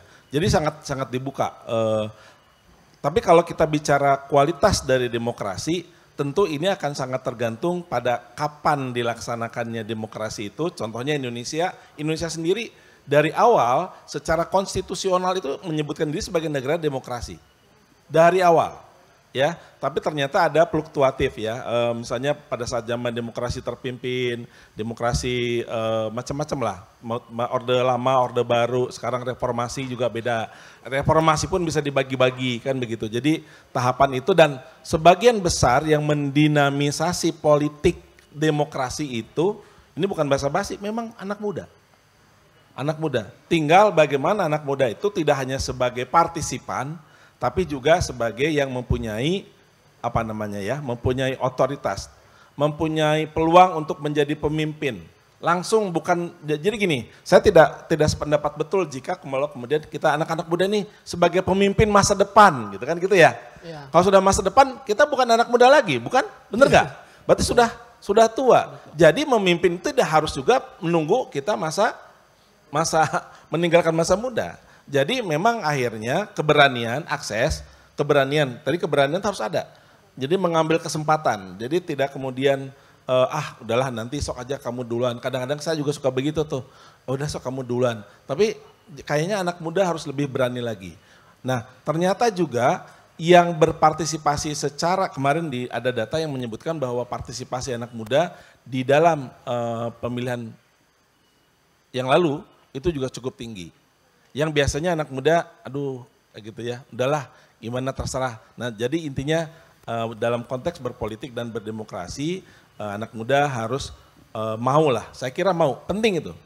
Tidak hanya secara kuantitatif, tapi juga secara kualitatif. Bagaimana proses demokrasi dari oleh untuk rakyat yang ujungnya salah satunya adalah kesejahteraan karena negara Indonesia dibangun adalah negara untuk kesejahteraan. Jujur aja, Jangankan bicara uh, kita ini kan never ending goals ya. Kesejahteraan itu adalah never ending goals. Kalau kita sudah sejahtera bukan berarti kita bubar sebagai sebuah negara, tapi terus di, dikejar begitu ya. Jangankan di yang kita sebut lah di di di Papua atau di mana. Anda kalau lihat di Jawa Barat saja, di Jawa Barat saja ada daerah yang juga tertinggal. Gitu kan ya. Jadi orientasi anak muda yang menciptakan lapangan kerja sendiri gitu kan ya. Tidak bergantung pada banyak orang lain, tidak hanya dari pemerintah, tidak hanya dari orang tua, saya kira itu menjadi harus di, dihargai. Orientasi politik dalam berdemokrasi, orientasi ujungnya adalah ke salah satunya adalah kesejahteraan. Saya kira itu yang harus ditingkatkan lagi. Luar biasa. Terima kasih Pak Dadang. Boleh sekali lagi tepuk tangan untuk Pak Dadang. Sebelum kita Sebelum kita ini ya, sebelum kita melanjutkan ke diskusi yang sesi kedua, saya mau informasikan kembali untuk teman-teman seluruh peserta yang hadir pada sore hari ini. Silakan untuk mengisi link survei terlebih dahulu ya. Link survei terlebih dahulu, pretestnya terlebih dahulu ya, karena eh, yang sudah mengisi pretestnya nanti setelah akhir forum ini akan dicek oleh panitia. Jadi itu sebagai salah satu syarat berarti ya. Jadi seluruh peserta yang hadir pada hari ini silahkan untuk mengisi pretest terlebih dahulu. Nanti oleh tim panitia dan juga udah di share juga link surveinya silahkan diisi. Itu link survei yang pertama. Nanti setelah mengisi surveinya link surveinya silahkan di screenshot nanti itu di, akan diperlihatkan kepada panitia setelah nanti forum selesai ya. Jadi silahkan sambil diisi kita akan sambil menyaksikan video selanjutnya. Silahkan. Sebagai anak yang dibesarkan di pesisir adalah sebuah tanggung jawab dan mimpi saya untuk bisa bermanfaat. Ternyata makna peribahasa seperti menabur garam di laut. Kita tidak bisa menjual ikan di daerah penghasil ikan yang sangat begitu berlimpah. Mungkin bisa bikin ikan kaleng kah? Uh, saya suka dengan hasil si teman-teman. Kira pedon di Ugar sini para nelayan ini bisa suplai ikan ke saya kah? Jadi beta eh, bikin ikan kaleng jadi, nah beta beli sudah. Kadang manusia memang punya cara untuk menggapai mimpinya, tapi Tuhan paling tahu cara yang paling baik untuk kita. Kita harus melakukan yang terbaik, perlu kerja keras dan kerjasama dari semua pihak. Kejar terus mimpi dan pantang untuk berhenti.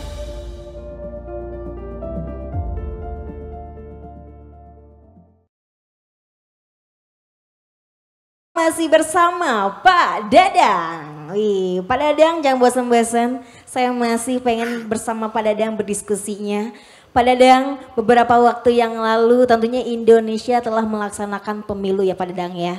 Dan juga tentunya untuk kepemimpinan yang baru nanti, apa yang sekiranya dalam lima tahun ke depan yang dibutuhkan oleh generasi anak-anak muda tentunya Papua ini, karena kita sedang ada di tema untuk anak muda untuk kesejahteraan Papua tentunya ya, dan juga sekiranya di kota-kota lain di Indonesia maupun diaspora apa di era digital dan menyediakan perspektif baru terhadap kesepakatan dan upaya percepatan pembangunan kesejahteraan. Menurut Pak Dedang, silahkan. Waduh ini pertanyaannya agak berat ya. Tapi saya mau meneruskan tadi ini benar nggak ya bahwa anak muda itu partisipasi politiknya uh, tanda petik baik atau lumayan lah. Ini kita saya nggak akan nanya Anda memilih memilih siapa ya. ya. Uh, yang hadir di sini ikut pemilu nggak kemarin? Coba yang coba yang, cung. Coba cung, coba. Coba eh, angkat tangan cung lagi. Lebih banyak yang ngacung apa enggak? Oh, lebih ikut, banyak ikut pemilu enggak kemarin? Yang ikut pemilu boleh acungkan tangan. Yang ikut nyoblos, ikut nyoblos. Yang ikut nyoblos lebih tinggi lagi. Satu, dua, tiga. Oh, dikit. Mantap. Uh, lumayan lah, setengah-setengah ya. Setengah lah ya. Mm -mm. Setengah. Jadi jangan-jangan setengah ini lumayan, jangan-jangan. Jangan-jangan ya. Mm -mm. Nah, uh, karena kan kadang-kadang ada isu golput, ada isu apa ya malas ada segala macamnya gitu ya. Nah tapi begini kalau menurut saya uh, apa yang harus dilakukan oleh uh, pemimpin terhadap anak muda itu bagi pemimpin yang telah atau yang sedang maupun yang akan nanti memegang tampuk amanah kepemimpinan ya saya contoh pilpres ya semuanya tuh ada kok program-program untuk anak muda semuanya ada tuh. Bagi saya sih ya laksanakan aja janjinya gitu kan ya. Jadi janjinya apa? Tuh banyak tuh, mulai dari akses tadi, lapangan kerja, pendidikan, uh, semuanya positif gitu ya. Tinggal apakah itu bisa dijalankan atau tidak. Tapi bagi saya sendiri sih, uh, sebetulnya yang paling penting bukan karena program dari negara atau pemerintah. Bagi saya, menurut saya, memang tergantung kitanya juga, gitu. Dari Jadi, diri kita ya sendiri, dari kita ya, sendiri. Ini ini betul, gitu ya. Tadi uh, sebaik-baiknya manusia adalah yang bermanfaat bagi manusia yang lainnya. Saya kira itu menjadi sangat uh, penting. Tapi untuk mendapatkan orientasi seperti itu, pasti harus ada pem, uh, pencerahan ya gitu ya. Ada orientasi yang terbuka. Jadi uh, anak muda itu memang harus membuka diri juga. Gitu membuka diri terhadap tentu uh, kemajuan perkembangan teknologi informasi komunikasi. Saya sekarang walaupun saya bawa HP 2 tapi tidak lebih pintar dari anak saya yang masih SMP dia lebih lancar menggunakan uh, gadgetnya. Bahkan dia main game online berbahasa Inggris jauh lebih pintar dari bapaknya yang S3 dia baru SMP betul itu. Gitu. Bahkan saya ngomong bahasa Inggris saja dikoreksi oleh anak saya yang SMP itu yang mau masuk SMA artinya dia membuka diri Uh, kemudian membuka diri itu terhadap orientasi dan kemudian juga membuka diri terhadap uh, kebersamaan, bergabung, bergaul. Kalau bahasa silaturahim itu membawa rezeki ya, ya. gitu. Ternyata kenal dengan banyak orang itu penting, tapi jangan salah kenal sebetulnya. Jadi itu butuh ilmu juga gitu ya. Kalau kenal konon katanya kalau kita ya walaupun ini bukan bukan sesuatu yang mutlak ya, memang bergaulah dengan orang yang uh, lebih lebih baik daripada kita tapi bukan berarti kita nggak mau bergaul dengan orang yang di bawah kita. Itu bentuk dari inklusivitas kita. Kita ingin mendapatkan sesuatu dari orang yang lebih, tapi juga kita mau memberi kepada orang yang kekurangan. Nah saya kira pemerintah cukup memberikan peluang-peluang itu saja. Tidak terlalu dipaksakan kepada kita harus sekolah, harus S3. Bahkan kementerian saja, menterinya bilang tuh, nggak penting tuh katanya apa ijazah. Itu menteri loh yang bilang, Walaupun orang kampus bilang, loh kok gitu sih ngomongnya? Maksudnya ijazah penting, tapi juga lebih penting lagi adalah kemampuan kita sebetulnya. Inovasi kita, kreativitas kita. Nah kalau itu penting bagi anak muda, itu juga yang penting dipatuhi, apa dipenuhi oleh negara atau oleh pemerintah. Terhadap, tidak hanya untuk di Papua sebetulnya, untuk semua semua uh, generasi muda yang generasi ada, muda ya. luar Saya biasa. kira itu. Dan saya terima bukan kasih. kampanye ya karena saya bukan calon. Ih mantap. Pak Dadang terima kasih banyak. Kita lanjut lagi bersama Kak Ijal. Kak Ijal kasih dong motivasi juga buat anak-anak muda Papua di mana pun berada. Tidak hanya di Bandung mungkin di luar Bandung. Untuk terus maju dan berkarya dalam bingkai NKRI. Uh, mungkin melanjutkan omongan tadi dari Pak Boleh. Dadang. Uh, di Papua itu khususnya kita yang uh, orang-orang Papua ya, banyaknya kita jadi penonton teman-teman. Mungkin teman-teman sendiri mengakui itu ya. Sepakat tidak? Kita jadi penonton di tanah kita sendiri. Kita bukan jadi pelaku di tanah kita sendiri. Bahkan uh, kita jadi pengemis di tanah kita sendiri bahasa kasarnya. Nah, uh, stigma ini bukan stigma ya, maksudnya uh, mumpung kita masih muda, apalagi saya mau titip pesannya ke teman-teman yang di Bandung gitu ya. Sebelum kita balik ke sana, jangan sampai kita beres dari Bandung balik ke sana masih tetap jadi penonton. Saya sering bilang ke teman-teman yang baru datang dari Papua, ke sini khususnya saya sering sampaikan. Datang ke sini kalau kuliah di sini main kuliah tidak betul, main lagi dengan teman-teman dari uh, Papua. Mohon maaf bukan mau mengkecilkan kita punya orang-orang, tapi datang ke sini ya kita bangun link, bangun apa namanya, bangun komunikasi, terus bangun jaringan. Kalau kita main lagi dengan kita punya teman-teman lagi, kita punya circle lagi, ngapain jauh-jauh ke sini mending di Papua aja. Karena kita datang ke sini biar tidak jadi penonton teman-teman di Papua. Bahkan datang ke sini kita mau belajar. Jadi begitu sampai di sini jangan sampai kita jadi penonton juga. Kalau bisa kita jadi pelaku. Makanya saya sering sampaikan ke teman-teman, ayo kita berkarya, kita berkarya. Karena ketika kita balik, ketika kita sudah tidak ada, yang mengingatkan kita atau yang diingat dari kita adalah karyanya kita. Nama mah cuman sebentar doang udah beres mati gitu. Habis itu ya udah beres. Cuman kalau kita punya karya, nama kita masih akan terus dikenang karena atas karyanya kita itu. Pun ketika kita balik ke Papua, kita akan dikenang dengan kita punya karya. Ketika kita ngomong, kita ngomong mereka mau apa? uh, kita ngomong dengan kita punya karya, landasannya lebih kuat. Kita mau ngasih masukan, kita mau ngasih arahan apa segala macam. Karena kita punya karya, kita diakui sama orang lain dan orang sudah mengiyakan karyanya kita, nggak ada halangan buat orang nolak omongannya kita. Termasuk hari ini teman-teman, saya dengan teman-teman yang ada di sini, mohon maaf, bisa jadi literasi dan bacaan teman-teman lebih banyak dari saya. Bahkan pemahaman, bahkan masalah skala otak teman-teman bisa jadi lebih pintar dari saya. Masalah pengalaman teman-teman bisa jadi lebih banyak daripada saya. Cuman yang membedakan saya dengan teman-teman adalah saya punya karya. Saya punya karya, karya saya diketahui sama orang banyak, akhirnya saya diundang atas karya saya.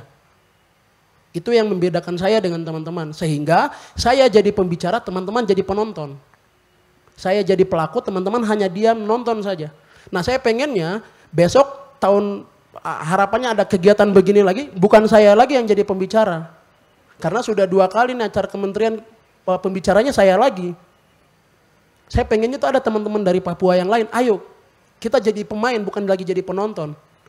Di tanah orang kita jadi penonton, masa di tanah kita di tanah kita sendiri juga jadi penonton lagi. Harapannya bekal jadi pengalaman-pengalaman di sini ketika nanti kita pulang ke Papua, itu menjadi pengalaman-pengalaman karya-karya yang kita kumpulkan, itu menjadi modal buat kita ketika kita nanti mau bangun di Papua sana.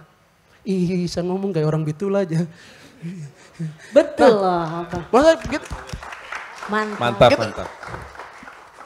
Nah, teman-teman, eh, saya rasa kita kita belum kita belum eh, apa namanya? belum masanya sudah belum beres gitu teman-teman. Masih kuliah di sini masih banyak link di sini. Ayo bangun jaringan bangun bangun eh, jaringan bangun pengalaman. Banyakin skill banyakin eh, karya banyakin jaringan biar nanti kita pulang. Orang ngakuin kita gitu. Dan kita diakui sama orang. Jangan sampai kita baru mau ngomong A, B, C dan segala macamnya sudah di heckling duluan, sudah dipatahin duluan. Lu ngomong mau ngomong apaan? Emang apa apa yang lu hasilin? Udah bikin apa lu? Akhirnya kesannya apa nggak berbobot jadinya nantinya.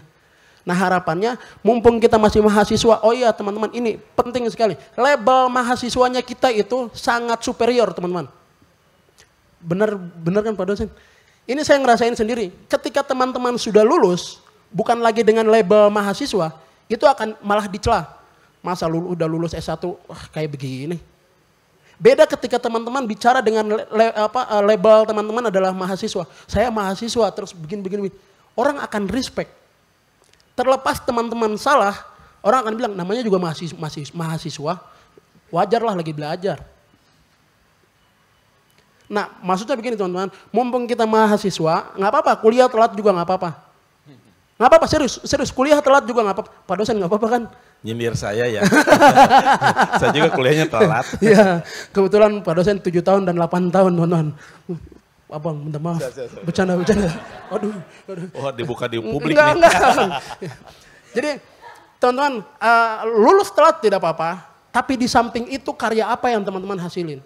Jangan sampai teman-teman lulus telat, tapi tidak ada karya, tidak ada apa yang teman-teman hasilin. Ketika teman-teman lulus telat tapi ada alasan atau ada karya yang teman-teman ciptain, teman-teman lulus, dosen-dosen pun akan pasti respect dengan teman-teman. Walaupun memang, ih kok nilainya kecil, iya bodo amat. Maksudnya begini teman-teman, ketika kita lulus, link-link dan jaringan-jaringan dan karya itu yang akan membantu kita untuk nanti kerja di depan. Setelah kita lulus. Kalau teman-teman lulus dengan IPK yang sama aja, terus kita tidak ada skill, apalagi yang kita mau harapin teman-teman. Kalau IPK ya udah di atas kertas doang, skill kita bawa ke mana-mana teman-teman. Karya kita bawa ke mana-mana teman-teman. Nah mungkin eh, ini motivasi ya, bukan apa motivasi ada, ada apa ya? eh, sama-sama kita sama-sama belajar. Mumpung kita masih di Bandung, kreativitas di Bandung tuh sangat eh, sangat ini sekali, sangat besar sekali. Jadi tolong kita manfaatin. Orang Sunda itu sudah menerima kita dengan sangat baik, sangat baik, sangat baik sekali. Teman-teman sendiri ngerasa. Saya jujur dari SMP saya di sini, SMA di sini, kuliah 6 tahun sekarang, belum pernah ada yang rasis ke saya. Teman-teman coba ke kota-kota lain. Bukan mau meng-underestimate kota-kota lain ya. Tapi orang Sunda, bumi Pasundan ini, Bandung ini, menerima kita dengan sangat baik teman-teman. Sangat baik. Yang tidak baik kelakuan kita aja bikin keren. iya, iya, iya. Wow, luar biasa Kak Ijal. Tentunya semangat terus. Makasih. Dan tentunya harus percaya diri untuk diri sendiri biar kita Motivator loh, berkembang. motivator. Enggak, enggak. Motivator cocok ya. Padang cocok Cuma luar tadi biasa. nyinggung saya kuliah 7 tahun dan 8 tahun. Itu betul apa gimana? Betul? Aduh, karena sudah disampaikan ya. saya kuliah 86 masuk di jurnalistik. Wisuda 93, berapa tahun tuh? enam tahun. Eh tujuh tahun. Tujuh tahun ya. Tujuh tahun. Saya kemudian kuliah juga di Fakultas Hukum, masuk 87, wisuda 95, berapa tahun tuh? 8 tahun kan? Delapan tahun. Tapi ya kuliah 7 tahun jadi dekan loh. Luar biasa. tapi barangkali bukan soal lamanya, tapi betul. eh, di samping di waktu kuliah juga memang saya aktif di berbagai kegiatan kemahasiswaan dan sebagainya. Itu akhirnya begitu sudah lulus, linknya yang kemudian di- diterima. Dan saya jadi dosen bukan karena IPK saya bagus, tapi nggak jelek-jelek amat juga sih gitu ya, gitu. Saya diminta jadi dosen bukan IPK-nya di atas tiga, tapi di atas dua setengah lumayan lah. Tapi kan kalau sekarang 2,5 kan standar ya gitu. Tapi waktu itu, oh tapi saya bisa berbangga. Yang lain ada yang IPK 4, saya 5,5 IPK-nya. Luar biasa. Karena dua. Dua. Oh dua. Fakultas hukumnya 2,7, Oke. eh, jurnalistiknya 2,8, 5,5. Boleh Jadi kasih tepuk tangan untuk Pak ya. Dayang dan juga Kak Ija. Boleh dong lebih meriah lagi untuk dua narasumber kita yang luar biasa. Oke, aku mau tanya juga buat teman-teman. Saya mau ngasih uh, peluang buat semuanya yang hadir. Ada yang mau bertanya, boleh langsung acungkan tangan, langsung berdiskusi bersama. Boleh ini yang di depan. Tiga penanya, satu, dua, tiga. Sudah, boleh acungkan tangan, satu, dua, tiga.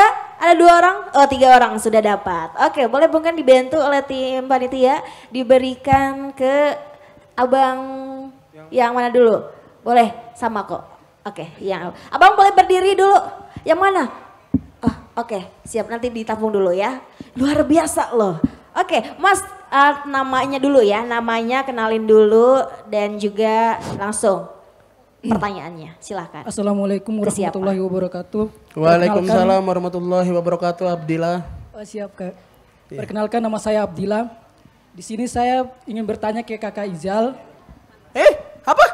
Ke kakak Izal. Kamu tanya saya? Pertanyaan saya sesuai te- dengan tema di depan ini, kolaborasi anak muda untuk kesejahteraan Papua. Bagaimana cara meningkatkan keterlibatan anak muda dalam mengambil keputusan di Papua? Bagaimana? Bagaimana cara meningkatkan keter- keterlibatan anak muda Keterlibatan. dalam mengambil pengambilan keputusan di Papua? Di Papua. Langsung dijawab? Tampung dulu. Eh, Langsung jawab mungkin ya. Oke, tampung dulu. Boleh langsung di depannya. Terima kasih. Kakak nanti akan dijawab langsung ya. Selanjutnya boleh panitia silahkan diberikan. Yang lagi berdiri langsung dulu aja ya. Banyak sekali soalnya Eh. ini ya. Mungkin yang sebelah sini ya. Sebelah sini mas. Karena di sini udah dua, sebelah sini biar balance ya. Kanan kirinya ya. Oke, mungkin yang mana? Yang mana? Panitia mau yang mana? Luar biasa ini. Yang mana? Yang mana? Mas Kelanya sing sabar. Kehela kehela. Sing lo, ini loba luar biasa antusiasnya pengen berdiskusi bersama dua narasumber. Silakan Mas pertanyaannya. Namanya siapa? Ya, ya baik, perkenalkan eh, nama saya Yeri Danielson Mamati. Eh, yang terhormat Bapak Siapa ayo, siapa? Sama. Siapa? Pak Dadang. Abang, Abang Ical. Oh iya, siap. di sini saya akan bertanya tentang eh, kolaborasi anak muda dalam kesejahteraan Papua. Ah, di sini mengingat kembali dengan eh, pemilu, banyak anak muda yang mencalonkan diri sebagai eh, anggota. Ketika mereka dapat jabatan sebagai eh, pemegang kekuasaan, mereka tidak meng, apa, menggunakan kekuasaan itu dengan baik untuk mensejahterakan masyarakat Papua. Tapi mereka menggunakan kes- eh, kesempatan itu eh, untuk mensejahterakan diri mereka sendiri. Bagaimana dengan masyarakat Papua yang masih dalam tanda kutip fakir, fakir dalam dalam kutip fakir miskin secara menurun. Bagaimana dengan eh, pendapat dari Bapak tersendiri? Yang dua, eh, pertanyaan kedua, anak Papua itu mempunyai eh, mempunyai potensi yang banyak, mulai dari segi kreatif, mulai dari masakan atau masakan dengan masakan eh, tari-tarian dengan nyanyian. Adapun juga ma- mahasiswa Papua yang mempunyai kreativitas sebagai seniman. Ah, di saya sendiri dijuluki sebagai seniman yang menciptakan seniman di eh, di bidang cukur. Saya sendiri menciptakan eh, usaha juga di barbershop itu namanya Hardio Studio. Dan teman saya alumni dari ITB namanya Aldius Matani. Mungkin Abang Ical bisa kenal. Ah, di sini bagaimana dengan anak-anak Papua yang punya potensi dalam bidang cukur bisa dikembangkan dari uh, negeri Sunda ini. Mungkin ada fasilitas yang disediakan oleh senior-senior Papua untuk memfasilitas uh, anak Papua yang berkreasi di bidang seni. Mungkin itu pertanyaan saya. Oke, luar biasa. Terima kasih untuk ketiga penanya yang tadi. Kita keep dulu ya, kita tahan dulu tiga orang. Kita langsung mungkin akan ditanggapi, akan dijawab mungkin kurang lebihnya. Untuk kedua narasumber mungkin dari Kak Ijal terlebih dahulu. Ya, Silahkan. saya menjawab yang Abdillah tadi ya. Silahkan. Eh, pertanyaannya tadi saya sempat catat bagaimana keterlibatan anak muda untuk kesejahtera- kesejahteraan Papua. Gitu ya, Abdillah? Ah, ah, ya, sorry. Bagaimana keterlibatan anak muda dalam pengambilan keputusan untuk mensejahterakan anak muda Papua gitu ya? Ah, kebetulan saya bukan gubernur ya. I- iya kan, jelas kan, benar kan. Ke- dan eh, kebetulan saya tidak besar di sana, cuman eh, ke- kemarin saya sempat ngobrol sama teman-teman dari eh, MAC, terus eh, beberapa seniman yang punya karya. Saya sendiri pengen menyarankannya adalah untuk untuk untuk anak-anak mudanya untuk bisa didengar, minimal untuk bisa didengar adalah bikin karya muncul ke permukaan. Ketika teman-teman punya karya, teman-teman ngomong, mereka pasti akan ngewaro. Eh ngewaro, ngewaro itu apa? Eh ya ngedengar lah. Ngedengar. Pasti mereka ngedengar. Selama menurut saya selama kita belum jadi apa-apa sampai kapan pun juga teman-teman nggak bakal didengar. Menurut saya ya. Ini mah pengalaman teman-teman demo aja nggak didengar gitu ya. Eh iya nggak sih? Iya kan? Betul kan? Nah makanya eh, yang saya bisa sarankan adalah teman-teman bikin karya sampai sampai eh, betul-betul diakui sama orang, habis itu sentil mereka. Itu akan bisa merubah peraturan. Nah, yang yang sayangnya adalah kemarin saya sempat ngobrol sama teman-teman dari seniman-seniman musik di Papua. Eh, saya sempat ngobrol sama teman-teman MAC, MAC gitu. Mereka sendiri yang karyanya sudah besar bahkan sudah sampai tampil di istana saja itu eh, agak kurang didengar gitu. Dan seniman-seniman di Papua itu ini eh, stand up komedian juga Bang Yewan sempat sampaikan juga. Di Papua kita kurang dihargai. MAC punya lagu eh, dikontak dari panitia di, eh, ngekontakin mereka buat ngisi acara, ditanya harganya berapa, nego, dikasih harga kecil. Eh ternyata mereka ngundang bintang tamu dari luar, nyanyi lagunya MAC di situ.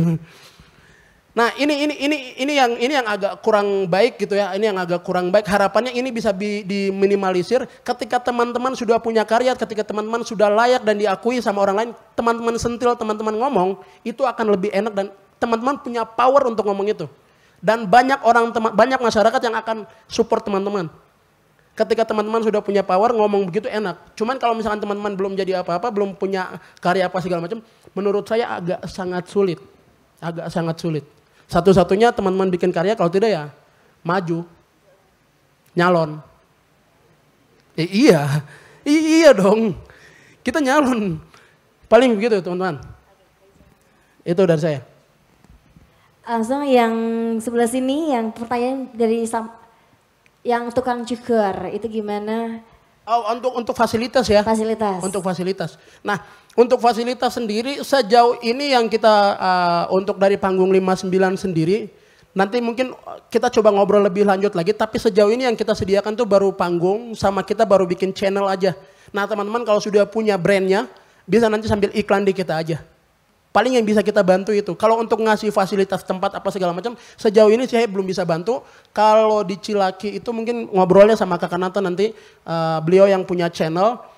Kalau saya pribadi kebetulan bukan pribumi Sunda, jadi saya tidak punya tanah di sini ya. Saya punya tanah di Papua. Nah, paling begitu teman-teman. Jadi biar lebih detailnya lagi nanti langsung ngobrol dan Langsung nanti ngobrol, intinya eh, yang Kak Ija bisa bantu itu mempromosikan di panggung Kak Ija. Betul, dan nanti kalau misalnya mau kolaborasi apa segala macam, nanti kapan-kapan kita duduk bareng, kita ngobrol lebih lanjut ya. Langsung. I- Itu yang paling penting duduk bareng ngobrol langsung biar semuanya clear ya. Betul. Mungkin dari Pak Dadang ada yang ingin ditambahkan Pak Dadang silahkan. Ya ini eh, umum aja ya. Yang pertama soal apa tadi eh, bagaimana anak muda punya apa pengaruh ya. Ya memang pengaruh tuh secara umum aja. Dia kalau tadi punya karya, punya uang, punya kedudukan, punya apa lagi? Kalau punya modal sosial biasanya memang akan didengar. Jadi kalau tidak punya modal sosial, siapa pun itu biasanya juga tidak akan didengar. Hanya tinggal bagaimana cara mendapatkan uh, posisi itu itu menjadi tidak mudah juga ya. Dan harus diperjuangkan. Dan ini nyambung dengan tadi pertanyaan. Uh, yang terbuka tertutup sistem politik. Sistem politik yang terbuka biasanya menjadi negara yang demokratis. Tapi kalau sistem politiknya tertutup, otoriter, pasti tidak demokratis, kan begitu ya. Dan demokrasi itu sendiri yang saya pelajari demokrasi itu bukan tujuan gitu. Tapi demokrasi itu adalah sebuah jalan, cara untuk mencapai tujuan. Karena ada negara nih, ini kita kan nggak bisa menyalahkan begitu saja juga ya. Ada negara, nggak usah sebutin pasti tahu. Ada negara yang otoriter loh, tapi sejahtera. Tingkat pe, apa, pendapatannya tinggi. Ada negara yang sangat demokratis, tapi masih di wilayah negara berkembang, negara yang ya sebut kalau negara miskin, negara miskin. Kan begitu. Jadi demokrasi itu adalah, tapi di Indonesia sebetulnya, saya yakin juga termasuk di Papua dengan sistem nokennya, itu adalah sistem demokrasinya Papua, betul ya? Gitu kan? Memilih dengan sistem noken. Di, di Sunda, di Jawa Barat, itu pemilihan kepala desa, itu juga sudah ada sebelum bahkan Indonesia menjadi sebuah negara. Gitu. Kakek saya pernah bercerita dulu untuk menjadi kubu, menjadi uh, kubu ya kalau dulu tuh ya, kubu uh, itu lewat pemilihan juga. Walaupun kemudian dalam sistem tertentu ada yang sebut dengan ya bahasanya kerajaan gitu ya. Yang jadi pemimpin ya pasti anak dari uh, raja sebelumnya gitu ya atau sultan sebelumnya. Atau ada juga nih yang lurah yang kemudian ingin terus menjadi lurah, anaknya yang jadi lurah. Terus akhirnya satu keluarga itu terus menjadi pemimpin di desa itu. Jadi demokrasi memang banyak e, caranya. Jadi demokrasi bukan tujuan, tapi demokrasi sebagai alat e, untuk mencapai tujuan itu. Salah satu untuk mencapai uh, tujuan, itu pilihan. Kemudian ya itu ya, udah terjawab. Sudah, sudah, sudah terjawab atau gimana? Belum. Ya. Belum. Mungkin bisa ngobrol lagi setelah forum ini di bawah kali ya. Oh, biar lebih ini, biar lebih clear, biar lebih enak, biar lebih pelong juga, biar lebih semuanya ya. apa yang ingin ditanyakan bisa dijawab langsung. Betul Pak Dadang dan juga ya, Kak Ijang? tadi sebetulnya tadi saya menjawab sedikit aja. Tadi soal akses berpendapat sebetulnya kan itu kan yang tanya. Jadi dalam banyak hal lagi-lagi dalam hal politik, dalam hal ekonomi itu akses itu menjadi sangat mahal dan bahkan harus diperjuangkan begitu ya. Anak muda tadi uh, apa punya kemampuan seni begitu ya nyukur tapi nggak punya akses akhirnya nggak bisa berkembang. Saya jadi ingat ini saya dalam beberapa belakangan ini kok saya ingat dengan Black Brothers. Lagunya kiamat lagu ingat ada yang tahu? Di tepi jalan si miskin menjerit nah gitu kan ya itu itu itu bagian dari perjuangan saya yakin lagu-lagunya Black Brothers juga ada hal yang sifat ingin diperjuangkan untuk memajukan teman-teman di di Papua. Itu cara berkesenian juga bisa memajukan apa tadi kesejahteraan. Kaitan dengan itu, kebetulan saya punya akses ke televisi di Bandung, namanya di Via TV. Kalau mau dipakai silahkan. Wih mantap, ya, silahkan, luar kalau biasa. Mau dipakai. Boleh kasih tepuk tangan untuk Pak, Pak Pak Dirjen, Bu Sumi, ini punya akses ke TV-TV loh. Kalau mau, bukan kadang-kadang akses Bu, Bulan saya juga pernah jadi ketua KPI, Komisi Penyiaran Indonesia. Teman-teman TV lah masih dengar saya lah gitu ya. Ini loh, ini peluang gitu untuk memajukan teman-teman yang sudah punya punya talent tapi tidak punya akses. Saya kira itulah butuh juga kudu kenal, kudu wawuh. Mesti berkolaborasi itu harus mau bersilaturahmi, mau berkenalan. Jangan Betul. menutup diri. Menutup diri tapi ingin maju susah. Betul. Saya kira itu ya. Mudah-mudahan menjawab nih, mudah terjawab ya. Oke, luar biasa sekali boleh dong kasih tepuk tangan untuk Kak Ica dan juga Pak Dadang.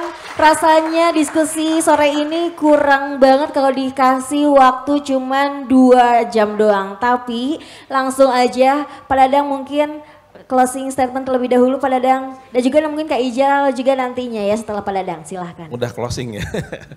ya uh, saya jujur aja saya merasa uh, senang, ini bukan basa-basi Uh, saya senang ada diskusi seperti ini, tapi mungkin tadi ada masukan juga ya, keterlibatan teman-teman untuk jadi apa tadi event organizer-nya. Oh iya itu, ya misalnya itu pertanyaan bukan kepada kita ya, itu kepada panitia nanti. tapi barangkali saya senang artinya ada peluang di sini. Kita saling mendengar sebetulnya ini. Yang penting adalah dialognya. Jadi bisa kolaborasi itu kolaborasi tidak mungkin ada kalau tanpa komunikasi.